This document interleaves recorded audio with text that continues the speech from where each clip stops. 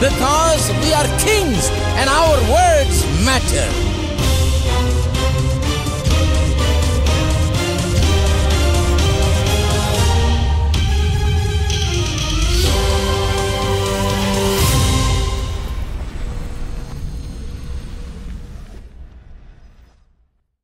காலையும் மாலைய வேளையும் கத்தரை கருத்துடன் பாடிடுவேன். காலையும் மாலை எவ்வேளையும் கர்த்தரை கருத்துடன் பாடிடுவேன். பரிசுத்தர் பரிசுத்தர் பரிசுத்தர் என தூதர் பாடிடும் துணி கேட்குதே. பரிசுத்தர் பரிசுத்து எனதூதர் பாடிடும் துணி கேட்குதே காலையும் மாலைய வேளையும் கர்த்தரை உடன் பாடிடுவே காலையும் மாலைய வேளை பாடிடுவே கத்தரின் வெளிச்சம் ஜீவனின் பலனும் கிருபையாய் ரட்சிப்புமானா.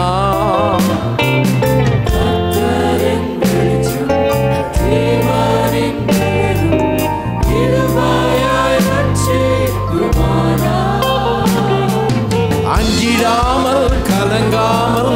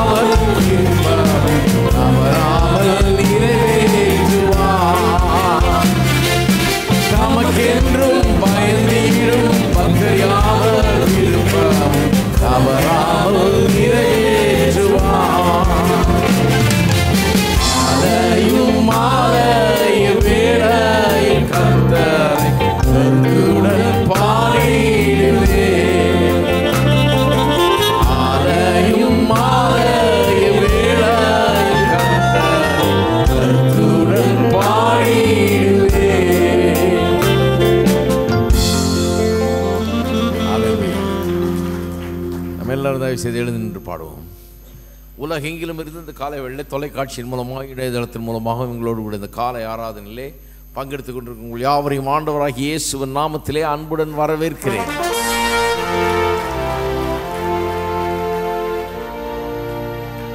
எனக்காக யாவற்றையும் செய்து முடிக்கிறவர் அவர். ஆமே எத்தனை பேர் நம்புறீங்க? உங்களுக்காக எல்லாத்தையும் செஞ்சு முடிச்சிருக்காரு. முடிச்சிருக்காரா? எல்லாவற்றையும் செய்து முடித்திருக்கிறவர் அவர்.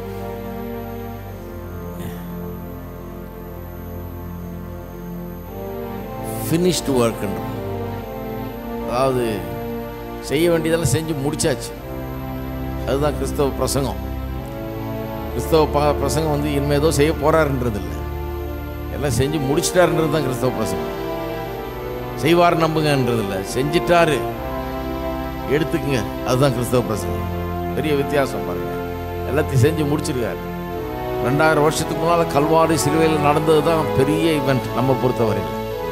இனிமேல் நடக்க போகிறதில்லை ரெண்டாயிரம் வருஷத்துக்கு முன்பாக நமக்காக கல்வாரி சிலுவையிலே அவர் பாவமாகி சாபமாகி நம்முடைய சாபங்களை சுமந்து பாவத்தை சுமந்து செத்தார் இருப்பாருங்க உயிரோட தேவன் அவர் எழுப்பினாரு. அங்கே தான் எல்லாம் செய்து முடிக்கப்பட்டது. கல்வாரி சிலுவையில்னு சொல்கிறாரு முடிந்தது. அதையெல்லாம் கவனிக்காம ஒன்றுமே முடியாது போல் நிறைய பேர் இருக்கிறாங்க. எல்லாம் இனிமே தான் செய்ய போகிறாருங்கிறது மாதிரி. கிடையாது. எல்லாம் செஞ்சு முடிச்சிருக்கிறார். எல்லாரும் சேர்ந்து பாடுவோம்.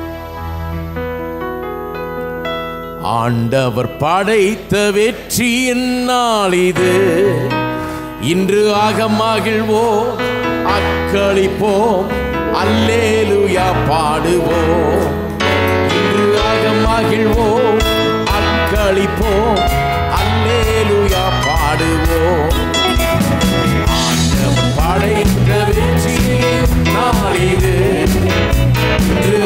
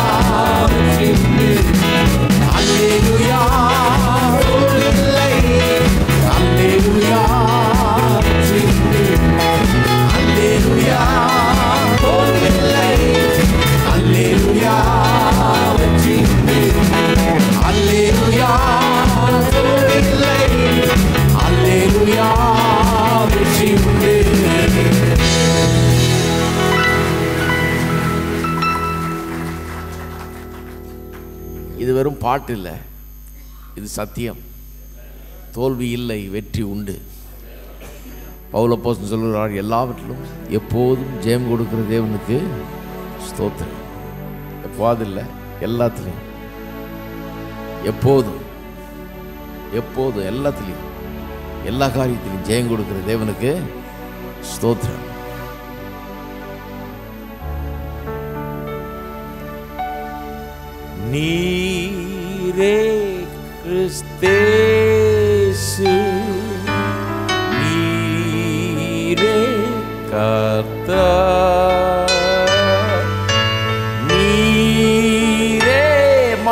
மாயேகோவாயன் தேவா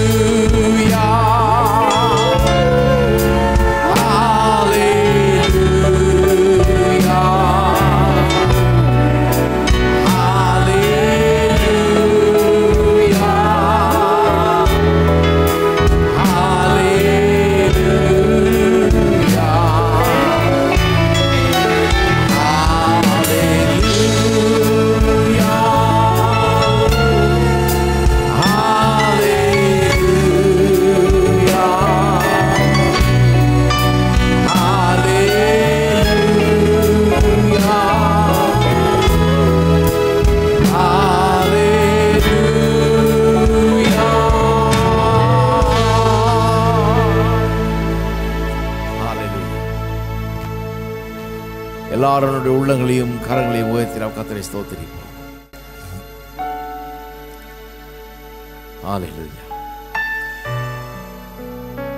ஏகோவா தேவன் நம்முடைய யெகோவா ராஃபாவாக ஏகோவா ஈரேயாக ஏகோவா ஷலோமாக நமக்கு எல்லாவற்றுக்கும் எல்லாமா இருக்கிறார் மீட்பில் எல்லாம் இருக்கிறது. நம்முடைய ஆவி ஆத்மா சரீரத்துக்கு வேண்டிய அத்தனையும் இருக்கிறது. ஹalleluya. ஓ துதிக்கிறோம் துதிக்கிறோம் துதிக்கிறோம் கத்தாவே ஹாலேலூயா ஹாலேலூயா ஹாலேலூயா ஹாலேலூயா ஓ உமக்கு ஸ்தோத்திரம். ஸ்தோத்திரம் ஸ்தோத்திரம் ஸ்தோத்திரம் கத்தாவே ஓ துதிக்கிறோம். துதிக்கிறோம் துதிக்கிறோம் துதிக்கிறோம் தேவனே. பிதாவே உம்மை துதிக்கிறோம் ஸ்தோத்திரிக்கிறோம். இந்த காலை வேளையிலே நீர் எங்களுடைய ஏகோவா தேவனாக எங்கள் மீட்பின் தேவனாக எங்களுக்கு அற்புதமான ஒரு மீட்பை ஏற்படுத்தியிருக்கிறபடியால் ஆளுமுக்கு ஸ்தோத்திரம். ஆவி ஆத்மா சரீரத்துக்கான எல்லா காரியங்களையும் அதில் நீர் செய்து முடித்திருக்கிறபடியால் நமக்கு ஸ்தோத்திரம். தேவன் தமிழ் அன்பு கூறுவதற்கு கொண்டு பண்ணினவைகள் எந்த கண்ணும் கண்டது கிடையாது எந்த காதும் கேட்டது கிடையாது. எந்த மனுஷனுடைய இருதயத்துக்கு அது தோன்றினது கிடையாது என்று எழுதியிருக்கிறது. ஆனால் நமக்கோ தேவ ஆவியானவர்களை வெளிப்படுத்துகிறார் என்று எழுதியிருக்கிறது. அப்படிப்பட்ட ஒரு வெளிப்பாட்டின் நேரமாக இது இருக்கிறது. வார்த்தை வல்லமையாய் புறப்பட்டு செல்லட்டும். தேவாவியானவர் இந்த காரியங்களை எங்களுக்கு வெளிப்படுத்தி தரட்டும். உங்களுடைய வழிகளை உங்களுடைய ஆசீர்வாதங்களை நீர் எங்களுக்காக வைத்திருக்கவர்களை காணும்படியாக எங்கள் கண்கள் திறக்கப்படட்டும். வேதத்தின் அதிசயங்களை காணும்படி எங்கள் கண்களை திறந்தருளும் எல்லா தேவைகள் இன்றைக்கு சந்திக்கப்படுகிறபடியாக நமக்கு ஸ்தோத்திரம். இந்த அறிகிற அறிவு இதன் மூலமாக ஜீவனுக்கும் தேவ பக்திக்கும் தேவையான அத்தனை நீர் கொடுத்துருக்கிறபடியாலும் ஸ்தோத்திரம். ஆகவே இன்றைக்கு எல்லா தேவைகளும் சந்திக்கப்படட்டும். குறைகள் நீங்கட்டும். உமக்கு எல்லா கன மைமை துதி ஸ்தோத்திரங்களையும் எடுக்கிறோம் இயேசுவின் நாமத்திலே ஜெபிக்கிறோம். ஆமே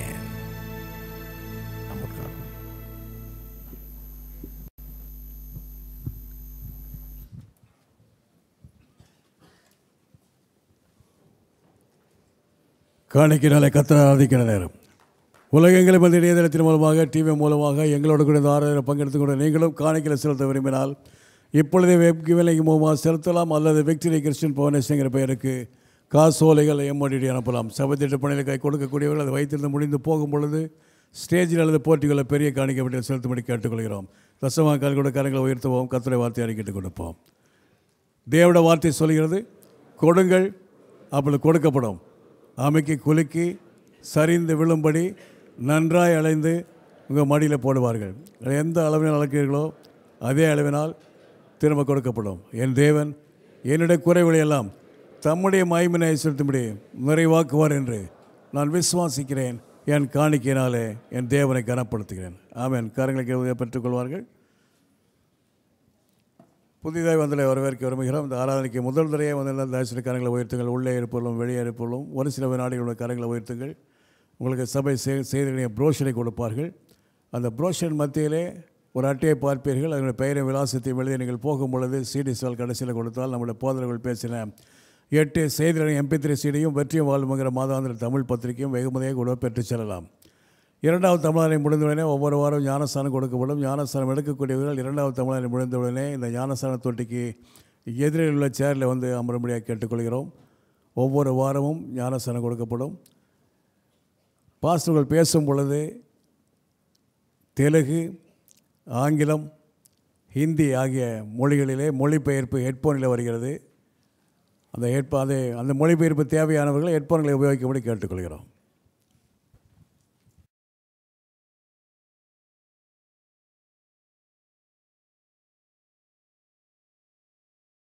எபிரேர் பதினொன்று ஒன்றிலிருந்து மூன்று வரை. விசுவாசமானது நம்பப்படுகிறவர்களின் உறுதியும் காணப்படாதவைகளின் நிச்சயமாயிருக்கிறது. அதனாலே முன்னோர்கள் நற்சாட்சி பெற்றார்கள். விசுவாசத்தினாலே நாம் உலகங்கள் தேவனுடைய வார்த்தையினால் உண்டாக்கப்பட்டதென்றும் இவ்விதமாய் காணப்படுகிறவைகள் தோன்றப்படுகிறவைகளால் உண்டாகவில்லை என்றும் அறிந்திருக்கிறோம். விசுவாசத்தை குறித்து போதிக்க ஆரம்பித்து இப்போ சில வாரங்களாக விசுவாசம் என்னும் பிரமாணம் என்கிற தலைப்பிலே போதித்து வருகிறேன். விசுவாசம் ஒரு பிரமாணம் போல கிரியை செய்கிறது. பிரமாணம்னா இயற்கை பிரமாணங்கள் இருக்குது இல்லையா? புவி ஈர்ப்பு பிரமாணம் போல். அது எல்லாருக்கும் எல்லா நேரத்திலும் ஒரே மாதிரி வேலை செய்யும். ஆளுக்கு ஏற்ற மாதிரி வேலை செய்யாது நேரத்துக்கு ஏற்ற மாதிரி வேலை செய்யாது. எப்போ யார் பயன்படுத்தினாலும் அது ஒரே மாதிரி தான் வேலை செய்யும். ப்ரெடிக்டபிலிட்டி இருக்குது அதில். அது அந்த புவி ஈர்ப்பு பிரமாணம் என்கிறது இருக்கிறபடினாலே ஒரு ஒழுங்கு இருக்குது பாருங்கள் இது இப்படிதான்ற ஒரு இது இருக்குது. எப்படியும் இருக்கலாம் அப்படின்றது கிடையாது. ஆவிக்குரிய ஜீவியத்தில் விசுவாசம் என்னும் பிரமாணம் இருக்கிறது. இந்த ஆவிக்குரிய ஒரு பிரமாணம். எல்லாம் இந்த விசுவாசம் என்னும் பிரமாணத்தின்படி தான் தேவனத்தில் வர முடியும். ரட்சிப்பை பெற முடியும். தேவனுடைய ஆசீர்வாதங்கள் எல்லாம் பெற முடியும். சிலர் சொல்கிறது போல் எப்படியும் இருக்கலாங்க. தேவன் தந்தா தருவார். தரலன்னா இல்லை. கத்தர் சிலருக்கு தருவார் சிலருக்கு தரமாட்டார் சிலருக்கு செய்வார் சிலருக்கு செய்ய மாட்டார் இன்றைக்கி செய்வார் நாளைக்கு செய்ய மாட்டார் இப்படியெல்லாம் சொல்கிறாங்க இல்லையா? அப்படியெல்லாம் சொல்வது தவறு. ஏனென்றால் விசுவாசம் என்னும் பிரமாணம். அதை வச்சிருக்கிறார் கர்த்தர். என்னைக்காக இருந்தாலும் யாராக இருந்தாலும் அது ஒரே மாதிரி வேலை செய்யும். இந்த பிரமாணம் எப்படி வேலை செய்கிறதுன்னு தெரிந்து கொண்டு இதை அணுகும்போது எல்லாரும் பயன்பெறலாம். இதுதான் ஆவிக்குரிய வாழ்க்கைன்னு ஒரு பெரிய ஒரு உண்மை. இந்த விசுவாசம் என்னும் பிரமாணம் என்கிறது. இதில் இந்த எபிரேயர் பதினொன்று ஒன்றில் பல காரியங்களை நான் பார்த்து வருகிறோம். இந்த எபிரேயர் பதினொன்று ஒன்று வந்து விசுவாசம்னா என்னங்கிறத முதல்ல நமக்கு அறிவிக்குது. இந்த போதனையே பெரும்பாலும் விசுவாசம் என்றால் என்ன என்பதையும் விசுவாசம் எப்படி கிரியை செய்கிறது என்பதையும் விளக்கக்கூடிய போதனைகள் தான். இந்த விசுவாசம் என்னும் பிரமாணம் என்கிற போதனை. இப்போ விசுவாசம்னா என்ன? இங்கே சொல்லப்படுகிறது விசுவாசம். விசுவாசமானது. நம்பப்படுகிறவைகளின் உறுதியும் இதை தான் பார்த்துக்கிட்டு வர்றோம். Substance of things hope for நம்பப்படுகிறவைகள் அப்படின்னா எதை நம்பிக்கொண்டிருக்கிறோம்? எதையோ நம்பிக்கிட்டு இல்லை. நாம் நம்பிக்கிட்டு இருக்கிறதெல்லாம் இல்லை. கடவுள் நமக்காக எதையெல்லாம் ஏற்படுத்தி வைத்திருக்கிறார் உண்டு பண்ணி வைத்திருக்கிறார் மீட்பின் மூலமாக எதையெல்லாம் நமக்காக ஆயத்தப்படுத்தி வைத்திருக்கிறார். அடிக்கடி கோட் பண்ணுறோம் இல்லையா? ஒன்று குறைந்த ரெண்டு ஒன்பதை. எந்த கண்ணும் கண்டதில்லை எந்த காதும் கேட்டதில்லை எந்த மனதுக்கும் இது எது தேவன் மனிதனுக்காக ஏற்படுத்தினவைகள். ஆவியானவரோ அதை நமக்கு வெளிப்படுத்துகிறார் என்று எழுதியிருக்கிறது. புதிய ஏற்பாடு வந்து ஒரு வெளிப்பாட்டின் சபை. இது நமக்கு மறைக்கப்படலை. நமக்காக வைக்கப்பட்டிருக்குது. நம்மிடத்துலேருந்து மறைச்சி வைக்கணும்னு வைக்கல கருத்தர். நமக்காக வச்சிருக்கிறாரு. நமக்கு வெளிப்படுத்துறதுக்குன்னே வேத புஸ்தகம் இருக்கிறது சபை இருக்கிறது பிரசையார் இருக்கிறாங்க ஆவியானவர் இருக்கிறாரு தேவ ஆவியானவர் இவைகளெல்லாம் நமக்கு வெளிப்படுத்த விரும்புகிறார். அப்போ ஏராளமானதை ஏற்படுத்தி வைத்திருக்கிறார். எந்த கண்ணும் காணல காதும் கேட்கல எந்த மனதுக்கும் தோன்றக்கூடாத அளவுக்கு அவ்வளோ அற்புதமான காரியங்களை தேவன் ஏற்படுத்தி வைத்திருக்கிறார். அவைகளை தான் இங்கே எப்படி சொல்லியிருக்குது? நம்பப்படுகிறவைகள்னு. அதைத்தான் நான் நம்பிட்டு இருக்கிறேன். எதையோ நம்பிட்டு இல்லை எதையோ நம்பிட்டு இருந்தா ஏதோ க- சும்மா கனவு காண்ற மாதிரி இருக்கும். விசுவாசம்ங்கிறது அப்படிப்பட்ட ஒரு கனவு இல்லை இது ஒரு இது வந்து எனக்காக தேவன் உண்டு பண்ணி ஏற்படுத்தி அவர் சிலுவையில் செத்து சம்பாதித்து எனக்கு சொந்தமாக்கின காரியங்களை அதை நான் பெறுவதற்காக நம்பிக்கொண்டிருக்கிறேன். அதெல்லாம் எனக்குன்னு கிரெடிட் பண்ணி வச்சிருக்கிறார். எனக்குன்னு சம்பாதித்து வைத்திருக்கிறார். நான் எதையோ நம்பிக்கிட்டு இல்லை அவர் ஏற்படுத்தினதான் நம்பிக்கிட்டு இருக்கிறேன் என் இஷ்டப்படி நான் நம்பலை அவர் எனக்கு உண்டு பண்ணவைகளை நம்பிக்கொண்டிருக்கிறேன். அப்போ விசுவாசம்னா என்ன? அந்த நம்பப்படுகிற காரியங்கள். நான் எதெல்லாம் நம்பிக்கிட்டு இருக்கிறேனோ சுகம் வாழ்வு வெற்றி ஜெயம். இதெல்லாம் ஆவி ஆத்மா சரீரம் குடும்பம் பொருளாதாரம்னு கையின் பிரயாசம்னு எல்லாவற்றிலும் எனக்கு வெற்றியை உண்டாக்கி தரும்படியாக இந்த சாபக்கேட்டிலேருந்து என்னை விலக்கி மீட்டு ஆசீர்வாதமான ஒரு வாழ்க்கையை பிரயோஜனமுள்ள உள்ள வாழ்க்கையாக வாழ்க்கையை என்ற வாழ்க்கையை மாற்றி தரும்படியாக கல்வாரி செல்வியில் எல்லாம் பண்ணார் இல்லையா?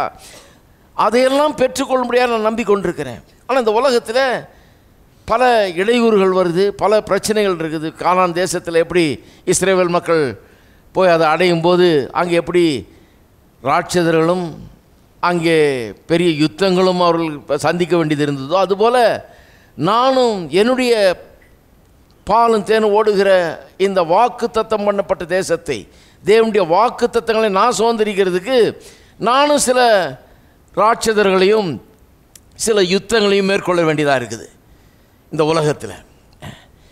அவைகளை நம்பிக்கொண்டிருக்க அதெல்லாம் என்னது என்று நான் நம்பிக்கொண்டிருக்கிறேன். சுதந்திரிக்க நான் அதற்கு வேண்டிய முயற்சிகளை எடுத்துக்கொண்டிருக்கிறேன். அது என்னது? அதை சுதந்திரிக்காமல் நான் விடுவதில்லைன்னு இருக்கிறேன் விசுவாசம்னா என்ன? அந்த நம்பப்படுகிறவைகளை குறித்த உறுதி. நம்பப்படுகிறவர்களை குறித்த உறுதி. இதை விலைக்கு சொல்லிட்டு வந்தேன். இன்றைக்கி இந்த அடுத்ததையும் சேர்ப்போம். காணப்படாதவைகளின் நிச்சயமாக இருக்கிறது. விசுவாசமானது நம்பப்படுகளின் உறுதி மட்டும் இல்லை காணப்படாதவைகளின் நிச்சயமாக இருக்கிறது. சரி ரெடுத்து சேர்த்தே பார்ப்போம் இன்றைக்கி காணப்படாதவைகள் என்றால் அதே தான் நம்பப்படுகிறவைகள் அதுதான் காணப்படாதவைகள்.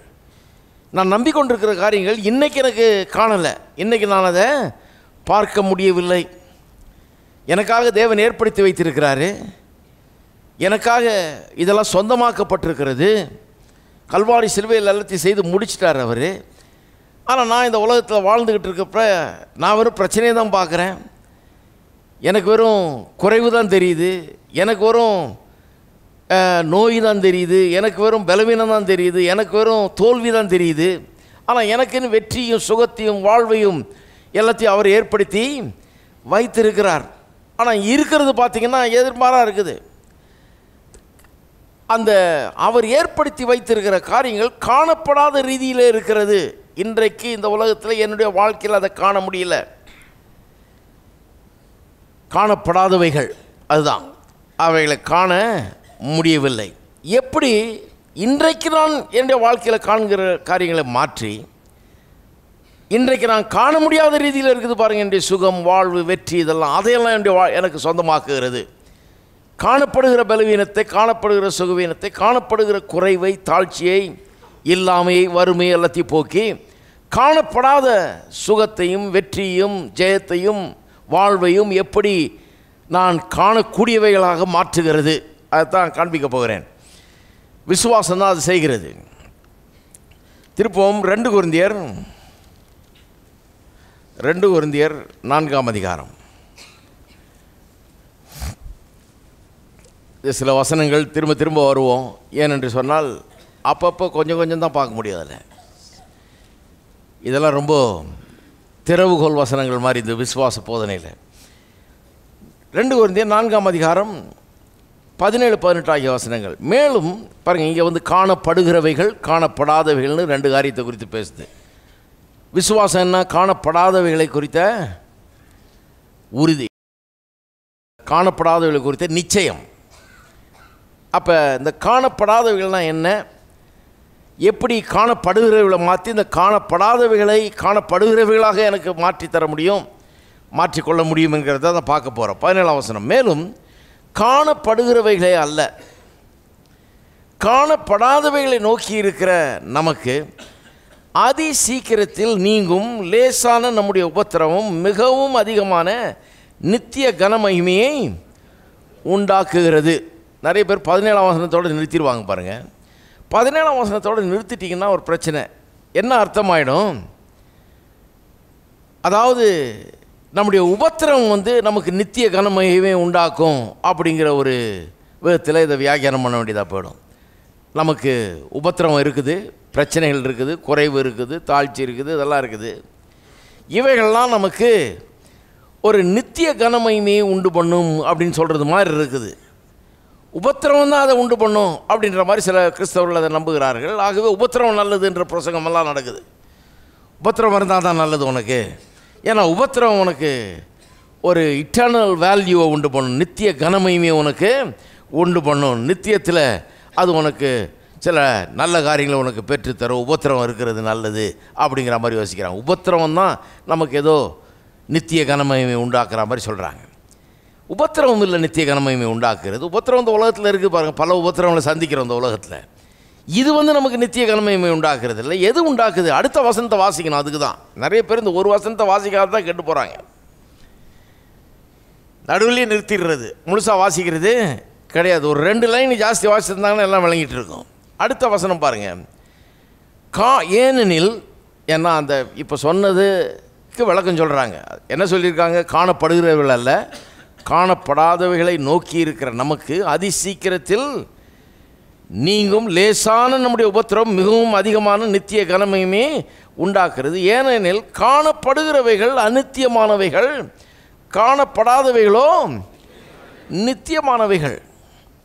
அப்போ என்ன சொல்ல வர்றாங்க? நம்முடைய உபத்திரவம் நமக்கு நித்திய கனமையுமே உண்டாக்குகிறது. காணப்படுகிறதை நோக்கி இருக்காமல் காணப்படாதவைகளை நாம் நோக்கி இருக்கும்போது அது நித்திய கனமகிமை உண்டு பண்ணுகிறது. ஏன்னா காணப்படுகிறவைகள் அனித்தியமானவைகள் தற்காலிகமானவைகள் காணப்படாதவைகளோ நித்தியமானவைகள். கொஞ்சம் யோசிக்கணும் இங்கே. காணப்படுகிறவைகள் அனித்தியமானவைகள் அப்படின்னா தற்காலிகமானவைகள். அப்போ உங்கள் பிரச்சனை இன்றைக்கி காண்கிறீர்கள் அதான் காணப்படுறதா இருக்குது. கண்ணுக்கு வேறு எதுவும் தெரியல. ஏசு பண்ணி சம்பாதித்து வச்சாருன்னு சொல்கிறோம் பிரசங்கம் பண்ணுறோம் அதுக்கு கண்ணுக்கு தெரிய மாட்டேங்குது. வியாதி தான் இந்த கண்ணுக்கு தெரியுது குறைவு தான் கண்ணுக்கு தெரியுது. காணப்படுகிறதா அதுதான் இருக்குது இன்றைக்கி தொட்டு பார்க்கக்கூடிய அளவுக்கு அதுதான் இருக்குது. இந்த இந்த கண்ணுக்கு இந்த காதுக்கு அதுதான் தெரியுது. குறைவு தாழ்ச்சி பலவீனம் இதுதான் தெரியுது. தோல்வி இதுதான் தெரியுது. ஆனால் இயேசு நமக்கு ஜெயத்தையும் வெற்றியும் வாழ்வையும் சுகத்தையும் கல்வாரி சிலுவின் மூலமாக பெற்று தந்திருக்கிறார். அதெல்லாம் காணப்படாத ரீதியில் இருக்குது. வேதம் சொல்லுகிறத கவனிக்கணும். பதினெட்டாம் வசனத்தில் காணப்படுகிறவைகள் அனித்தியமானவைகள் இப்போ நான் சொல்லுகிறேன் நீங்கள் கண்டு கொண்டிருக்கிற உங்கள் பிரச்சனைகள் அநித்தியமாய்கள் டெம்பரரி டெம்பரரின்னா எத்தனை பேருக்கு வழங்குது? அப்படின்னா என்ன அர்த்தம்? வேலை டெம்பரரினா என்ன அர்த்தம்? என்றைக்கும் அனுப்பிச்சிடுவாங்கன்னு அர்த்தம். இன்றைக்கி இருக்கும் நாளைக்கு ஒரு வேளை இருக்காதுன்னு அர்த்தம். அதுதான் டெம்பரரி இல்லையா? டெம்பரரி எல்லாருக்கும் விளங்கக்கூடிய ஒரு வார்த்தை. தமிழ்நாட்டில் இங்கிலீஷே தெரியாத ஆளு கூட டெம்பரரின்றது விளங்கும். அதுதான் வேதம் சொல்லுது. காணப்படுகிறவர்கள் டெம்பரரி டெம்பரரினா இன்றைக்கி இருக்கும் நாளைக்கு இருக்காது. பலவீனம் சுகவீனம் தோல்வி மற்றும் இல்லாமை வறுமை இதெல்லாம் வந்து இன்றைக்கி இருக்கும் ஆனால் நாளைக்கு அதுதான் அதனுடைய தன்மை. அப்போ உங்களுக்கு இருக்கிற பிரச்சனையை நீங்கள் எப்படி பார்க்கணும் இன்றைக்கி அவைகள்லாம் டெம்பரரி பிரச்சனைகள். இருக்கீங்களா? பக்கத்தில் இருக்க அளப்பா சொல்லலாம் டெம்பரரி கொஞ்ச நாளைக்கு தான். உடனே கொஞ்சம் பலு குறையுது பாருங்க. டெம்பரரி இப்போ இருக்குது நாளைக்கு போயிடும். எந்நேரம் போகுமோ? திடீர்னு போயிடும் அது அவ்வளோதான் இன்னைக்கு இருக்குது நாளைக்கு இருக்காது. அதான் சொல்லுது. காணப்படுகிறவைகள் அநித்தியமானவைகள். காணப்படாதவைகளோ நித்தியமானவைகள். காணப்படாதவைகள் நித்தியமானவைகள். அப்போ காணப்படாதவைகள்லாம் என்ன? இந்த பிரச்சனையில் இருக்கிற அந்த பிரச்சனைக்கான பதிலை தான் நான் காண முடியல. பதில் தான் காண முடியாதவைகள். ஆனால் அந்த பதில் தான் நித்தியமானது.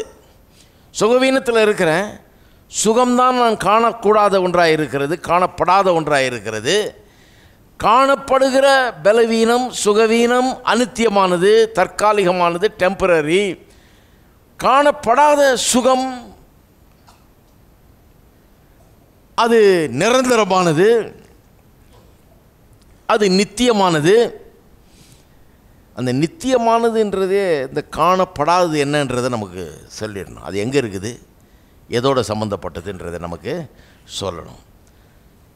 அதில் என்ன முக்கியமான ஒரு இதுன்னா காணப்படாதவைகளை நோக்கி இருக்கிற நமக்கு காணப்படுகிறவைகளை அல்ல காணப்படாதவைகளை நோக்கி இருக்கிற நமக்கு. நல்லா கவனிங்க. காணப்படுறதை தானே நோக்கி இருக்க முடியும்? காணப்படாதது எப்படி நோக்கி இருக்கிறது? காணப்படுறதை தானே நான் பார்க்க முடியும். உங்கள்கிட்ட நான் பார்க்குறத பார்க்காதீங்க பார்க்க முடிஞ்சதை பார்க்காதீங்க பார்க்க முடியாததை பாருங்கன்னா அதை எப்படி பார்க்குறதும்பீங்க கண்ணுக்கு தெரிகிறதானே நான் பார்க்க முடியும்? கண்ணுக்கு தெரியாத நான் எப்படி பார்க்குறது? காணப்படுறவை தானே பார்க்க முடியும்? காணப்படாதவைகளை நான் எப்படி பார்க்குறதுன்னு கேட்பீங்க இல்லையா? பைபிள் அப்படி சொல்லியிருக்குது. காணப்படுகிறவைகளை அல்ல. பதினாலாம் வசனம். காணப்படாதவைகளை நோக்கி இருக்கிற நமக்கு. அப்போ நான் கேட்குறேன் காணப்படுகிறவர்களை பார்க்காம காணப்படாதவைகளை நோக்கி இருக்கிற எப்படி நோக்கி இருக்கிறது? காணப்படாதவைகள் என்ன? நித்தியமானவைகள் இல்லையா? அந்த காணப்படாத என்ன படாதவைகள் என்ன? என்னுடைய பிரச்சனைக்கான பதில்கள் எனக்கு குறைவு இருக்கலாம் நிறைவு தான் நான் காணப்படாது எனக்கு காணப்படாத ரீதியில் இன்றைக்கு இருக்கிறது.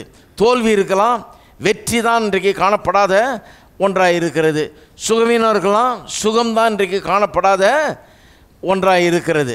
அப்போ வேத வசனம் என்ன சொல்லுது? இந்த காணப்படுகிற சுகவீனமும் தோல்வியும் இந்த காணப்படாத குறைவும் தாழ்ச்சியும் எப்படி வெற்றியாக சுகமாக வாழ்வாக மாறும்?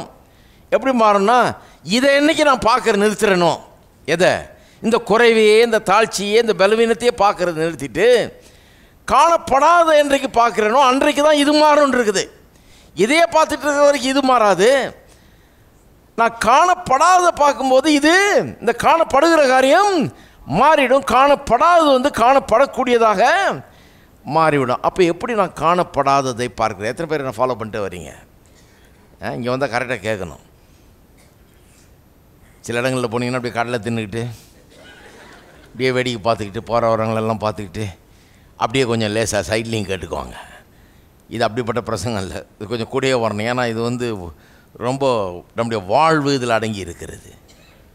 அப்போ எப்படி நான் காணப்படுறத பார்க்காம காணப்படாத என்னுடைய வாழ்வையும் வெற்றியும் சுகத்தையும் இதெல்லாம் பார்க்குறது அது எங்கே இருக்குது? எப்படி பார்க்குறது? எங்கே இருக்கிறதுன்றது குழு எங்கே இருக்குதுன்னா காணப்படாதவைகள் நித்தியமானவைகள்னு இருக்குது இல்லையா? அப்போ நான் சொல்கிறேன் கடவுள் நித்தியமானவர். கடவுளுடைய வார்த்தை நித்தியமானது. அவர் எப்படி நித்தியமானவரோ அது போலவே அவருடைய வார்த்தையும் நித்தியமானது. அப்போ நான் சொல்லுகிறேன் இந்த வார்த்தைக்குள்ளே தான் நான் இன்றைக்கு காண முடியாத சுகமும் இந்த வார்த்தைக்குள்ளே தான் இன்றைக்கு நான் என்னுடைய வாழ்க்கையில் காண முடியாத வெற்றியும் வாழ்வும் நிறைவும். என்னுடைய குறையெல்லாம் போய் எல்லாம் நிறைவாகிற அந்த காரியங்கள்லாம் வேறு எங்கேயும் என் வீட்டில் பார்க்க முடியல. என் கண்ணாடியில் போய் பா என் முகத்தில் பார்க்க முடியல. இது மற்றவங்க கண்ணுக்கு தெரியல என் கண்ணுக்கு தெரியல இந்த கண்ணுக்கு தெரியல. இது வந்து எங்கே இருக்குது? இங்கே இருக்குது. இதை காண்றதுக்கு நான் வேறு விதமாக இதை நான் பார்க்க வேண்டும். எத்தனை பேர் இருக்கிறீங்க இப்போ? அப்போ காணப்படாதவைகளை நாம் என்ன பண்ண முடியும்? பார்க்க முடியும். எப்படி பார்க்க முடியும்? காணப்படாதவைகள் எங்கே இருக்குது? நித்தியமான அது நித்தியமானவைகள்.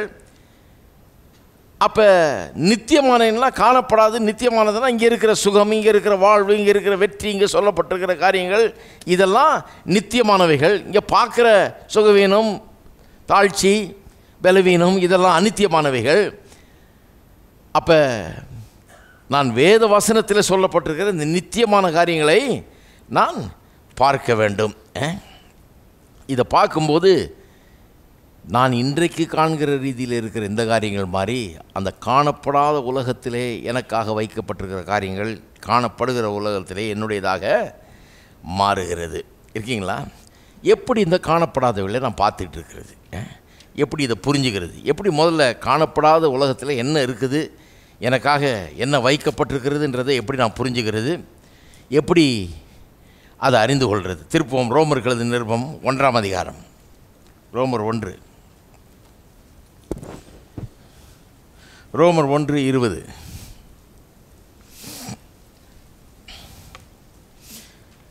காணக்கூடாத உங்களுடைய வாழ்க்கையின் பிரச்சனைக்கான பதில்களை எப்படி காண்பது? காண்றதுக்கு ஒரு வழி இருக்குது வச்சுருக்கார் கடவுள். காணப்படாததுன்னா சுத்தமாக நமக்கு அது தெரிஞ்சிக்கவே முடியாது நம்ம கண்ணில் பார்க்கவே முடியாது அதனால் நமக்கு தெரியவே தெரியாது விளங்கவே விளங்காதுன்னு அர்த்தம் கிடையாது. அதை பார்க்குறதுக்கு கடவுள் ஒரு வழி வச்சிருக்கிறார். என்ன வழி? இருபதாம் வசனம். எப்படி என்றால் காணப்படாதவைகளாகிய பார்த்தீங்களா திருப்பி அதே தான் வருதுங்க. காணப்படாதவைகளாகிய அவருடைய நித்திய வல்லமை தேவத்துவம் என்பவைகள் உண்டாக்கப்பட்டிருக்கிறவர்களினாலே உலகம் உண்டானது முதற்கொண்டு தெளிவாய் காணப்படும். ஆதலால் அவர்கள் போக்கு சொல்ல இடமில்லை. அதாவது காணப்படாத அந்த தேவன் தேவன் காணப்படாதவர் இல்லையா? அவர் ஆவியாக இருக்கிறார் நம்ம கண்ணால் பார்க்கறது இல்லை அவருடைய தெய்வத்துவம் தெய்வத்துவம்னா அந்த காட் எஸ் அ பர்சன் அவர் ஆவி அவர் வந்து பிதா குமாரன் பரிசுத்தாவி என்ற திருத்துவ தேவனாக இருக்கிறார்.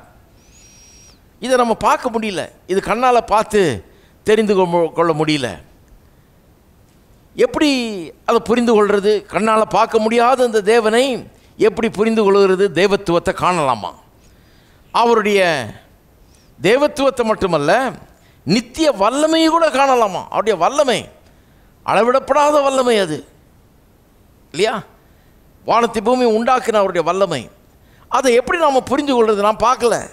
எப்படி நான் என்னை பார்க்க முடியும்னுது? வேதவசனம்னு சொல்லுது அவருடைய நித்திய வல்லமையும் தேவத்துவம் என்பவைகளை எல்லாம் நான் பார்க்க முடியும். காணப்படாத இவைகளை நான் காண முடியும். எப்படியா? உண்டாக்கப்பட்டிருக்கிறவைகள்னாலே.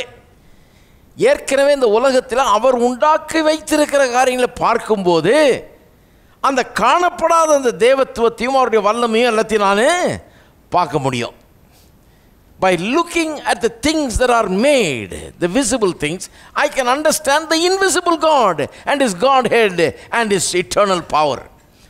அவருடைய நித்திய வல்லமையும் தெய்வத்துவத்தையும் காணக்கூடாத அந்த அற்புதமான காரியங்களை காணப்படுகிற காரியங்கள் அவர் உண்டாக்கி வைத்திருக்கிறார் பாருங்க. இந்த காரியங்கள்லாம் உலக தோற்றம் முதற்கொண்டே இவைகள்லாம் வெளிப்பட்டிருக்கிறது. இன்னைக்கு நேற்று இல்லை இது. இப்போ வந்த புது வெளிப்பாடு இல்லை அது அவர் யார்? அவர் எப்படிப்பட்டவர்?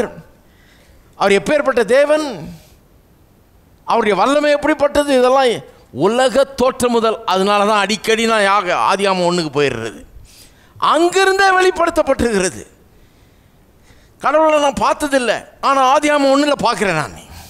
ஹலோ ஏன்னா அங்கே எல்லாத்தையும் உண்டாக்குறார் அங்கே பார்க்குறேன். உண்டாக்கப்பட்டவைகளை காணும்போது அவருடைய தெய்வத்தும் அவருடைய வல்லமை எனக்கு விளங்குது. அவர் ஆவியாக இருக்கிறத நான் பார்த்ததில்லை. ஆனால் அவரை நல்லா தெரிஞ்சுக்க முடியுது என்னால். காணப்படாத அந்த தேவனை நல்லா அறிந்து வைத்திருக்கிறேன். ஏனென்றால் ஆதியாமம் முதல் அதிகாரத்தில் அந்த வெளிப்பாடு ஆரம்பித்திருக்கிறது அவர் எப்படிப்பட்டவர் என்கிற வெளிப்பாடு அறிவு நமக்கு உண்டாயிருக்கிறது. ஒரு உதாரணத்துக்கு சொல்கிறேன் பாருங்க. ஆதியாமம் ஒன்றில் மனுஷனை உண்டாக்குகிறார் அவர். மனுஷனை எப்படி உண்டாக்குறாரு?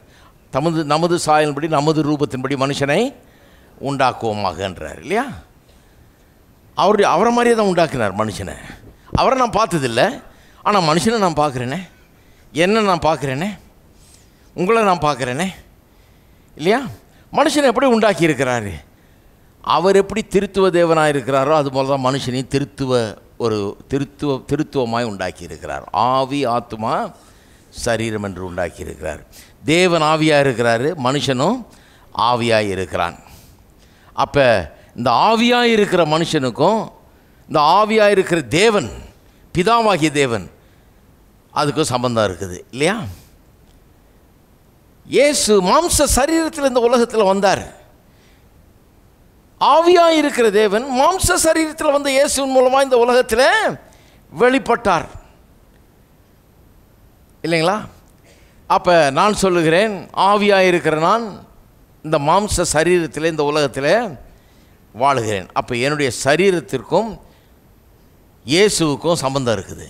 நான் எப்படி சரீரத்தில் இருக்கிறேனோ ஆவியாக இருக்கிற நான் எப்படி சரீரத்தில் வாழுகிறேனோ அதுபோல் இந்த ஆவியாக இருக்கிற தேவன் சரீரத்தில் இந்த உலகத்துக்கு வந்தார். அப்போ ஆவியானவர் ஆவியானவர் என்ன பண்ணுகிறார்? அவர் நம்ம வழி நடத்துகிறார்.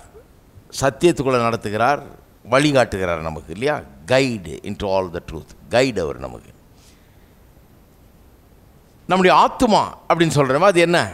ஆத்மாங்கிறது நம்முடைய மனம் நம்முடைய அதாவது அறிவு உணர்ச்சி அப்புறம் சித்தம் கொள்ளும் திறன். அதாவது இன்டலெக்ட் இமோஷன்ஸ் அண்ட் வில் அப்படின்னு சொல்கிறோம் இங்கிலீஷில் இல்லையா?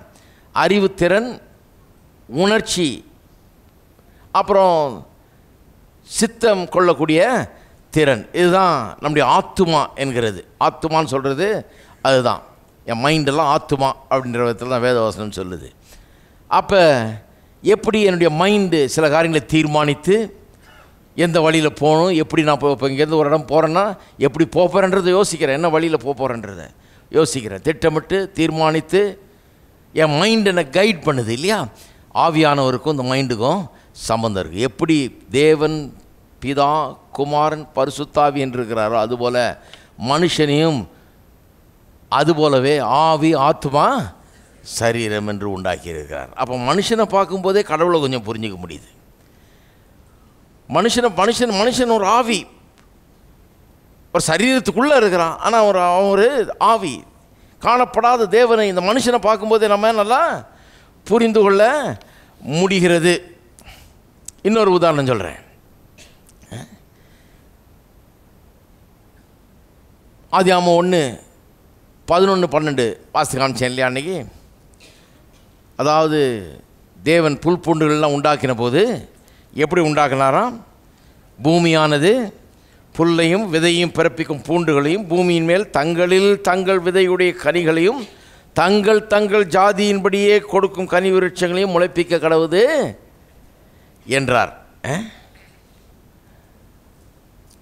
இப்படி தான் உண்டா எல்லாம் அதாவது தந்தன் ஜாதியின்படி உண்டாக்குதுன்றார் உண்டா உண்டாகுதுன்றார். இது ஒரு பிரின்சிபல் கடவுள் வச்சுட்டார். அப்போ மனுஷனை உண்டாக்கும் போது அவர் என்ன பண்ணுறாரு தம்முடைய ஜாதியின்படி தான் எப்படியோ அப்படி தான் உண்டாக்குவேன்னு சொல்லி அப்படியே அவர் உண்டு பண்ணினார். இது ஒரு பிரின்சிபல் கடவுள் எப்படியோ அப்படி தான் மனுஷன். எல்லாம் அதாவது தன் தன் ஜாதியின்படி பிறப்பிக்கிறது. புல் பூண்டுகள் கூட தன் தன் ஜாதியின்படி பிறக்கி பிறப்பிக்கிறது. அப்போ தேவனும் மனுஷனை தன்னுடைய ஜாதியின்படி பிறப்பித்திருக்கிறார். அதனால தான் மனுஷனை புரிந்து கொள்ள முடிகிறது. டிஎல் மூடி என்கிற ஒரு பெரிய பிரபலமான பிரசங்கியார் இருந்தார் பாருங்கள் அமெரிக்காவில். ஒரு நூறு வருஷத்துக்கு முன்னாடி இருந்தவர் அவர். நூறு வருஷத்தை தாண்டி அதுக்கு முன்னாடி. எயிட்டீன் ஹண்ட்ரட்ஸில் இருந்தவர். அவர் சொல்லுகிறார் இப்படி அப்போவே எழுதி வச்சிட்டார் அவர். அப்போவே பிரசங்கம் பண்ணியிருக்கார். அவர் சொல்கிறார் the laws of the spirit world அதாவது ஆவிக்குரிய உலகத்தின் பிரமாணங்கள் ஆவிக்குரிய பிரமாணங்கள் the laws of the spirit world that created this earth and all that we see are extended into the earth and are already revealed through the creation so that we can now know how the spirit world works ஆவிக்குரிய உலகத்தின் பிரமாணங்கள் தான் இந்த காணப்படுகிற உலகத்தை உண்டாக்கினது இன்றைக்கி காணப்படுகிறவர்களெல்லாம் காணப்படாத அந்த உலகத்திலேருந்து வந்தது தான் அந்த உலகத்தின் பிரமாணங்கள் தான் இதையெல்லாம் உண்டாக்கினது. உண்டாக்கினதன் மூலம் என்ன ஆயிடுச்சான் இந்த காணப்படாத உலகத்தில் இருக்கிற அந்த பிரமாணங்கள் வழிமுறைகள் எல்லாம் இந்த உலகத்தை காணப்படுகிற உலகத்தை உண்டாக்குறதுனால இப்போ இந்த காணப்படுகிற உலகத்தில் காணப்படாத காரியங்களை அறிந்து கொள்ள முடிகிறது அப்படின்றார். இதை பார்க்கும்போது அது நமக்கு புரிந்து கொள்ள முடிகிறது என்றார். அங்கே இருக்கிற பிரமாணங்களை உலகத்தை உண்டாக்குனது மூலமாக இந்த உலகத்துக்குள்ளேயும் வெளிப்படுத்தி விட்டார் கர்த்தர் என்று அன்றைக்கே அவர் சொன்னார். அப்போ ஆவிக்குரிய காரியத்தை ஒன்றை காண்பிக்கணும்னா கர்த்தர் என்ன பண்ண சொல்கிறாரு இந்த உலக பிரகாரமான காரியத்திலேருந்து அதை புரிஞ்சுக்கலான்றார். அதனால் ஆபிரகாம்கிட்ட வர்றாரு. வந்து அவனுக்கு சொல்கிறாரு உன்னுடைய சந்ததி இவ்வளவா இருக்கும்னு சொல்கிறாரு எவ்வளவா இருக்குன்னாரு அதுக்கு என்ன சொன்னார்? வானத்து நட்சத்திரத்தை பாருன்னார். அவனுக்கு வேறு எப்படி காண்பிக்கிறது அவனுக்கு? வானத்து நட்சத்திரத்தை பாரு. இவைகளை உன்னால் என்ன கூடுமோன்றார். உன்னுடைய சந்ததி எவ்வளவாக இருக்கும்? இந்த உலகத்தில் இருக்கிற இந்த நட்சத்திரங்களை காண்பித்து இவனுடைய சந்ததி எப்படி இருக்குன்றதுக்கு அதை காண்பிக்கிறார். இவன் இவன் கண்ணால் காண முடியாது. இவன் சந்ததி எப்படி இருக்குன்றதை இவன் பார்க்க போகிறதில்ல ஈசாக்கு பிறகுறான் இவனுக்கு ஒரு சந்ததி உண்டாகுது. ஆனால் வானத்து நட்சத்திரத்தை போல் இருக்குன்றது அவ்வளோ நாள் அவன் உயிரோட இல்லை அதை பார்க்குறதுக்கு. அவனுக்கு சொல்கிறாரு இப்படி தான் இருக்கும்ப்பா தெரிஞ்சுக்க. காணப்படாத எப்போ உனக்கு காமிச்சிடுறேன் அந்த காட்சியை பார்த்துக்க. உன் சந்ததி எப்படி இருக்க போகுதுன்றத பார்த்துக்க. நாளைக்கு இரநூறு வருஷம் முந்நூறு வருஷம் ஐநூறு வருஷம் ஆயிரம் வருஷம் ரெண்டாயிரம் வருஷத்துக்கு பிறகு மூவாயிரம் வருஷத்துக்கு பிறகு உன் சந்ததி எப்படி இருக்குன்றத நீ பார்த்துக்கன்றார். வானத்து நட்சத்திரத்தை பாரு. இதன் இதை போல தான் உன்னுடைய சந்ததி இருக்கும் என்கிறார். அப்போ பாருங்க இந்த காணப்படுகிற காரியங்களை வைத்து காணப்படாத காரியங்களை நாம் புரிந்து கொள்ளலாம். முக்கியமாக கர்த்தருடைய மீட்பின் மூலமாக நமக்கு உண்டு பண்ணியிருக்கிற காரியங்களை வேத வசனம் நமக்கு சொல்லுகிறது. இதையெல்லாம் நாம் புரிந்து கொள்ள முடியக்கூடிய அளவுக்கு இந்த உலகத்தில் காணப்படக்கூடிய கூடக்கூடிய கூடிய காரியங்கள் நமக்கு அதை விளக்குகிறது. சரி. இப்போ எப்படி இது வேலை செய்யுதுன்றதை காண்பிக்கிறேன். எப்படி இது வேலை செய்கிறதுங்கிறத கொஞ்சம் கவனிப்பு எப்படி இந்த விசுவாசம் வேலை செய்யுது? விசுவாசம் ஒரு விதையை போல் இருக்குதுன்னுலாம் சொன்னோம் இல்லையா? விதை பிரின்சிபலை பற்றி பேசணும் இது எப்படி வேலை செய்யுதுன்றதை பற்றி கொஞ்சம் கவனிப்போம். பாருங்கள் காப்பிங் மிஷின் நல்லா இருக்குன்னு தெரியும் இல்லையா? போய் ஜெராக்ஸ் காப்பி எடுக்கிறோம். கடையில் போய். ஜெராக்ஸ் காப்பி எடுக்கும்போது எப்படி அது வருது எப்படி காப்பி வருது? காப்பி எடுத்த பிறகு எல்லாம் கரெக்டாக வந்திருக்கான்னு ப்ரூஃப் ரீடிங்காக பண்ணுறீங்க கிடையாது.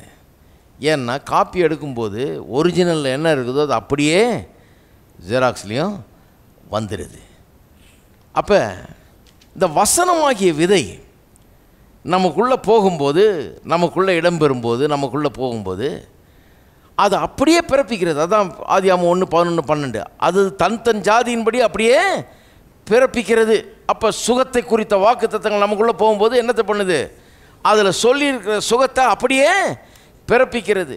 வாழ்வு வெற்றியை குறித்த வசனங்கள் நமக்குள்ளே போகும்போது அதில் சொல்லியிருக்கிறது வெற்றியும் வாழ்வையும் அப்படியே உள்ளே சொல்லியிருக்கிற மாதிரி அப்படியே உண்டாக்குறது. அப்படியே ஜெராக்ஸ் காப்பி மாதிரி அப்படியே வருகிறது. மிஷினில் போட்டு எடுத்த மாதிரி. இதுக்கு அதுக்கு வித்தியாசமே இருக்காது. இது அதைத்தான் பிறப்பிக்கும். இந்த வசனங்கள் இந்த வாக்குத்தத்தங்கள் இதெல்லாம் உள்ளே போச்சுன்னா அதைத்தான் பிறப்பிக்கும். அப்படின்னு சொன்னால் அந்த காப்பிங் மிஷின் எப்படி வேலை செய்யுதுன்றது கொஞ்சம் யோசித்து பாருங்கள் அது எப்படி வேலை செய்தான்? நீங்கள் ஒரிஜினலில் கொண்டு போகிறீங்க கொண்டு போய் மேலே வைக்கிறீங்க. மேலே வச்சோன்னு என்ன பண்ணுறான் அதை மூடிடுறான். ஏன் மூடுறான்னா ஒரு பயங்கர வெளிச்சம் ஒன்று அடிக்க போகுது.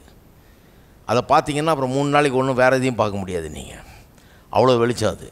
ரொம்ப பிரைட் லைட்டு அதனால் என்ன பண்ணிடுறான் நீங்கள் பேப்பரை வச்ச உடனே அதை மூடிடுறாங்க. மூடிட்டு பட்டன் அழுத்தினோடனே அந்த பயங்கரமான வெளிச்சம் என்ன பண்ணுது? இந்த ஒரிஜினலில் இருக்கிற அந்த படத்தையோ அல்லது அந்த எழுத்துக்களையோ அப்படியே கேப்சர் பண்ணி உள்ள ஒரு கா வெத்து பே- வெள்ளை பேப்பர் வச்சுருக்கான் பாருங்கள் காப்பி பண்ணுறதுக்கு காலி பேப்பரு அந்த பேப்பர் மேலே அதை அப்படியே இம்ப்ரிண்ட் பண்ணுது அது. இந்த வெளிச்சம் வந்து இதை படி போலரைஸ் பண்ணி அப்படியே அந்த பேப்பர் மேலே அதை அப்படியே அச்சிட்டுருது ஆக்சுவலாக போட்டுருது. இதுலேருந்து இருக்கிறது வந்து அதுக்கு ட்ரான்ஸ்ஃபர் ஆகிடுது ஆக்சுவலாக ட்ரான்ஸ்ஃபர் ஆகும்போது ஒரு எலக்ட்ரிக்கல் சார்ஜும் அந்த பேப்பர் மேலே ஏறிடுது. அந்த பேப்பரை உடனே வெளியே எடுத்து பார்த்தீங்கன்னா அதில் ஒன்றுமே இருக்காது. நீங்கள் பார்த்தீங்கன்னா என்ன சொல்லுவீங்க? இல்லைங்க ஒன்றுமே இதுலேருந்து ஒன்றும் வரல இதுக்கு அப்படிம்பீங்க. ஆனால் அதுலேருந்து வந்திருக்குது அதில். பார்க்குறதுக்கு வெள்ளையாக தான் தெரியும். ஆனால் எலக்ட்ரிக்கல் சார்ஜ் அதில் ஏறி இருக்குது. இதில் இருக்கிற இமேஜ் அதில் வந்துருச்சு. எப்போ தெரிய ஆரம்பிக்கும்? அந்த கார்பன் காட்ரேஜ் ஒன்று இருக்குது உள்ளே. அதில் அந்த கருப்பு மை மாதிரி இருக்குது பாருங்கள் அந்த கார்பன் காட்ரேஜ் இருக்குது. அந்த கார்பன் காட்ரேஜ் மேலே இது போகும்போது அந்த கார்பன் வந்து எது மேலே ஒட்டுமா? எங்கெல்லாம் அந்த எலக்ட்ரிக்கல் சார்ஜ் இருக்குதோ இந்த இமேஜ் மேலே தானே இருக்குது. அங்கே மட்டும் அந்த கருப்பு ஒட்டும். முழு பேப்பர் மேலேயும் ஒட்டாது. அந்த கார்பன் வந்து எங்கெல்லாம் அந்த இமேஜ் கேப்சராக இருக்குதோ அங்கே மட்டும் ஒட்டும் மீதி இடத்துலலாம் ஒட்டாது. அப்போ அந்த கார்பனை கடந்து அது வரும்போது என்ன ஆகுது அந்த இமேஜ் நமக்கு தெரிய ஆரம்பிக்குது. இப்படி தான் அது வருது. இதை வச்சு தான் காணப்படுகிறவர்களை கொண்டு காணப்படாதவர்களை புரிந்து கொள்ளலாம். எப்படி விதை வேலை செய்யுதுன்றத கொஞ்சம் யோசித்து பாருங்கள் என்ன நடக்குது? வசனத்தை உங்கள் இருதயத்துக்குள்ளே விதைக்கும் போது இந்த இங்கே இருக்கிற வசனத்தை எடுத்து ஒரு விதையாக நினச்சி உங்களுடைய இருதயத்துக்குள்ளே அதை விதைக்கும் போது உங்களுடைய ஆவி மனுஷனுடைய ஆவி. ஆவியானவரை சொல்ல நான். மனுஷன் ஒரு ஆவியாக இருக்கிறான். தேவன் ஆவியாக இருக்கிறாரு. மனுஷனும் ஒரு ஆவியாக இருக்கிறான் நீங்கள் ஒரு ஆவி. இந்த சரீரத்துக்குள்ளே வாழ்கிற ஒரு ஆவி. உங்களுடைய ஹியூமன் ஸ்பிரிட்டு அதாவது உங்களுடைய இருதயம்னு சொல்கிறோம் வேதத்தில் இருதயம்னு சொல்லுது அதை. இருதயம் இருதயம் வேதம் சொல்கிற நிறைய இடத்துல பார்த்தீங்கன்னா இருதயன்றது நம்முடைய ஆவி ஆவி மனிதனை குறிக்கிறது. இந்த ஹியூமன் ஸ்பிரிட் வந்து நம்முடைய இருதயம் வந்து இந்த காப்பிங் மிஷினில் இருக்கிற அந்த வெள்ளை பேப்பர் மாதிரி. வெள்ளை பேப்பர் மாதிரி இல்லையா? இந்த வசனத்தை எடுத்து நம்ம இருதயத்துக்குள்ளே வைக்கும்போது இதான் அந்த இந்த இந்த விதை மாதிரி இருக்குது பாருங்கள் இந்த விதையை விதைக்கிறோம் உள்ள. இந்த வசனத்தை எடுத்து நம்முடைய இருதயத்துக்குள்ளே நாம் வைக்கும்போது என்ன ஆகிறது? இந்த உள்ளே போன இந்த இந்த ஒரு இதுதான் ஒரிஜினல் இந்த வசனம் தான் ஒரிஜினல் நமக்கு என்ன கொடுக்கப்பட்டிருக்குது? நாம் என்னவாக இருக்கிறோம் கிறிஸ்துவுக்குள் நாம் என்னவாக இருக்கிறோம் நம்முடைய ஆசீர்வாதங்கள் என்ன? இதையெல்லாம் குறித்த ஒரு படம் தான் இந்த வசனம்.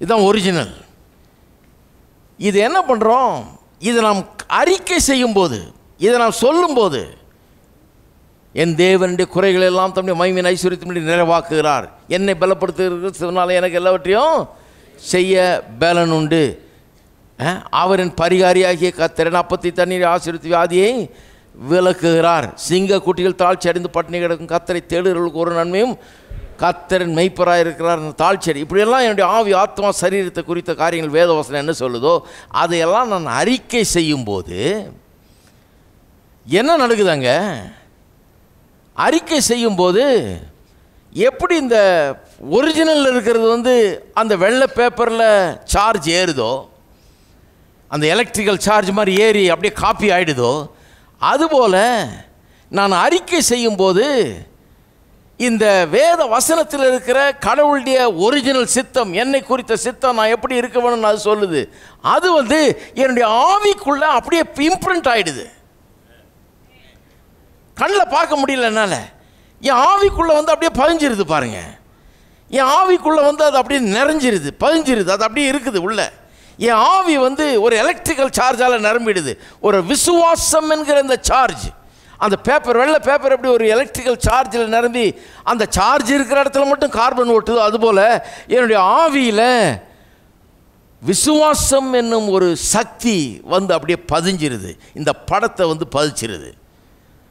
அப்புறம் நான் இந்த உலகத்தில் வாழுகிறேன். உள்ளே வந்து வசனத்தை அறிக்கை செய்து அறிக்கை செய்து உள்ளே அது பதிஞ்சிருச்சு. என் உள்ள ஆவியில் இந்த உலகத்தில் வாழும்போது இங்கே பஞ்சம் இங்கே குறைவு இங்கே தாழ்ச்சி இங்கே சுகவீனம் இங்கே பலவீனம் இங்கே தோல்வி இங்கே போராட்டம் இதையெல்லாம் சந்திக்கிறேன். இதன் மத்தியில் தான் போயிட்டுருக்கிறேன். இது வந்து கார்பன் மாதிரி. எது எனக்கு ஒட்டுது? எனக்கு என்ன நடக்குது? உள்ளே என்ன பதிவாயிருக்குதோ உள்ளே என்ன இமேஜ் இம்ப்ரிண்ட் ஆகிருக்குதோ அங்கே மட்டும்தான் இந்த கார்பன் போய் ஒட்ட ஆரம்பிக்கிறது. அப்போ இந்த உலகத்தில் பஞ்சம் பசி பட்டினி அது இது எல்லாம் இருக்கலாம். குறைவு தாழ்ச்சி தோல்வி இதுதான் நிறைஞ்சிருக்குது. இது எங்கே பார்த்தாலும் இருக்குது. ஒரே போராட்டமாக இருக்குது. பற்றாக்குறையாக இருக்குது. எல்லாமே ஒரு கஷ்டமாக இருக்குது. அந்த உலகத்துக்குள்ளே நான் போயிட்டு இருக்கும்போது எனக்கு உண்டாகிற வாழ்க்கை எப்படிப்பட்டதாக இருக்கிறது? வசனத்தின் மூலமாக என் உள்ளத்தில் பதிஞ்சுது பாருங்கள் அந்த வாழ்க்கை தான் எனக்கு உண்டாயிருக்கிறது.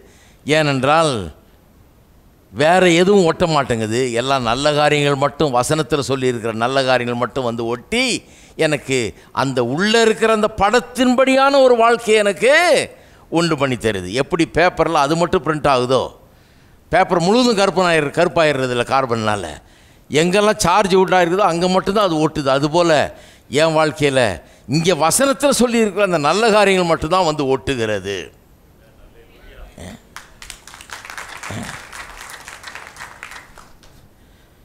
நீங்கள் இதே தோல்வியும் வறுமையும் இல்லாமையும் சுகவீனத்தையும் பேசி பாருங்கள் பேச பேச என்ன ஆகுது?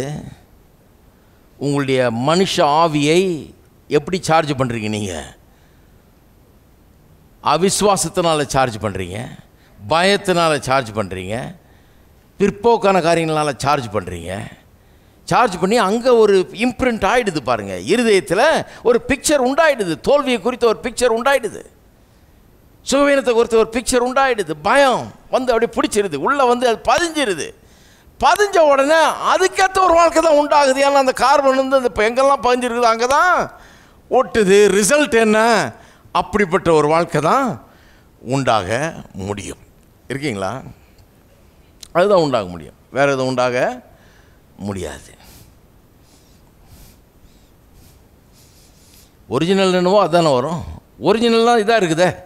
இல்லை முடியாது பத்தாது போதாது பஞ்சம் பசி இதுதான் ஒரிஜினல் அப்போ காப்பி மட்டும் வேறு மாதிரி எப்படி வரும்? என்ன ஒரிஜினல் போட்டிங்களோ அதன்படி தான் வரும் இல்லையா?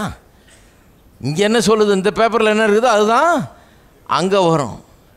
இதுதான் நிறைய பேருக்கு வழங்க மாட்டேங்குது பாருங்கள் ஏன் வசனத்தை அறிக்கை செய்யணும்? ஏன் இந்த வசனத்தை சொல்லி சொல்லி நம்முடைய உள்ளத்தில் ஏற்றணுங்கிறதெல்லாம் வழங்க மாட்டேங்குது? திருப்பங்க பார்ப்போம் லூக்கா பதினேழு. அங்கேயும் ஏற்கனவே போனோம். பாருங்கள் எப்படி வசனத்தை உள்ளே வைக்கிறதுன்றதை சொல்கிறார் இல்லையா? லூக்கா பதினேழு அஞ்சு ஆறு.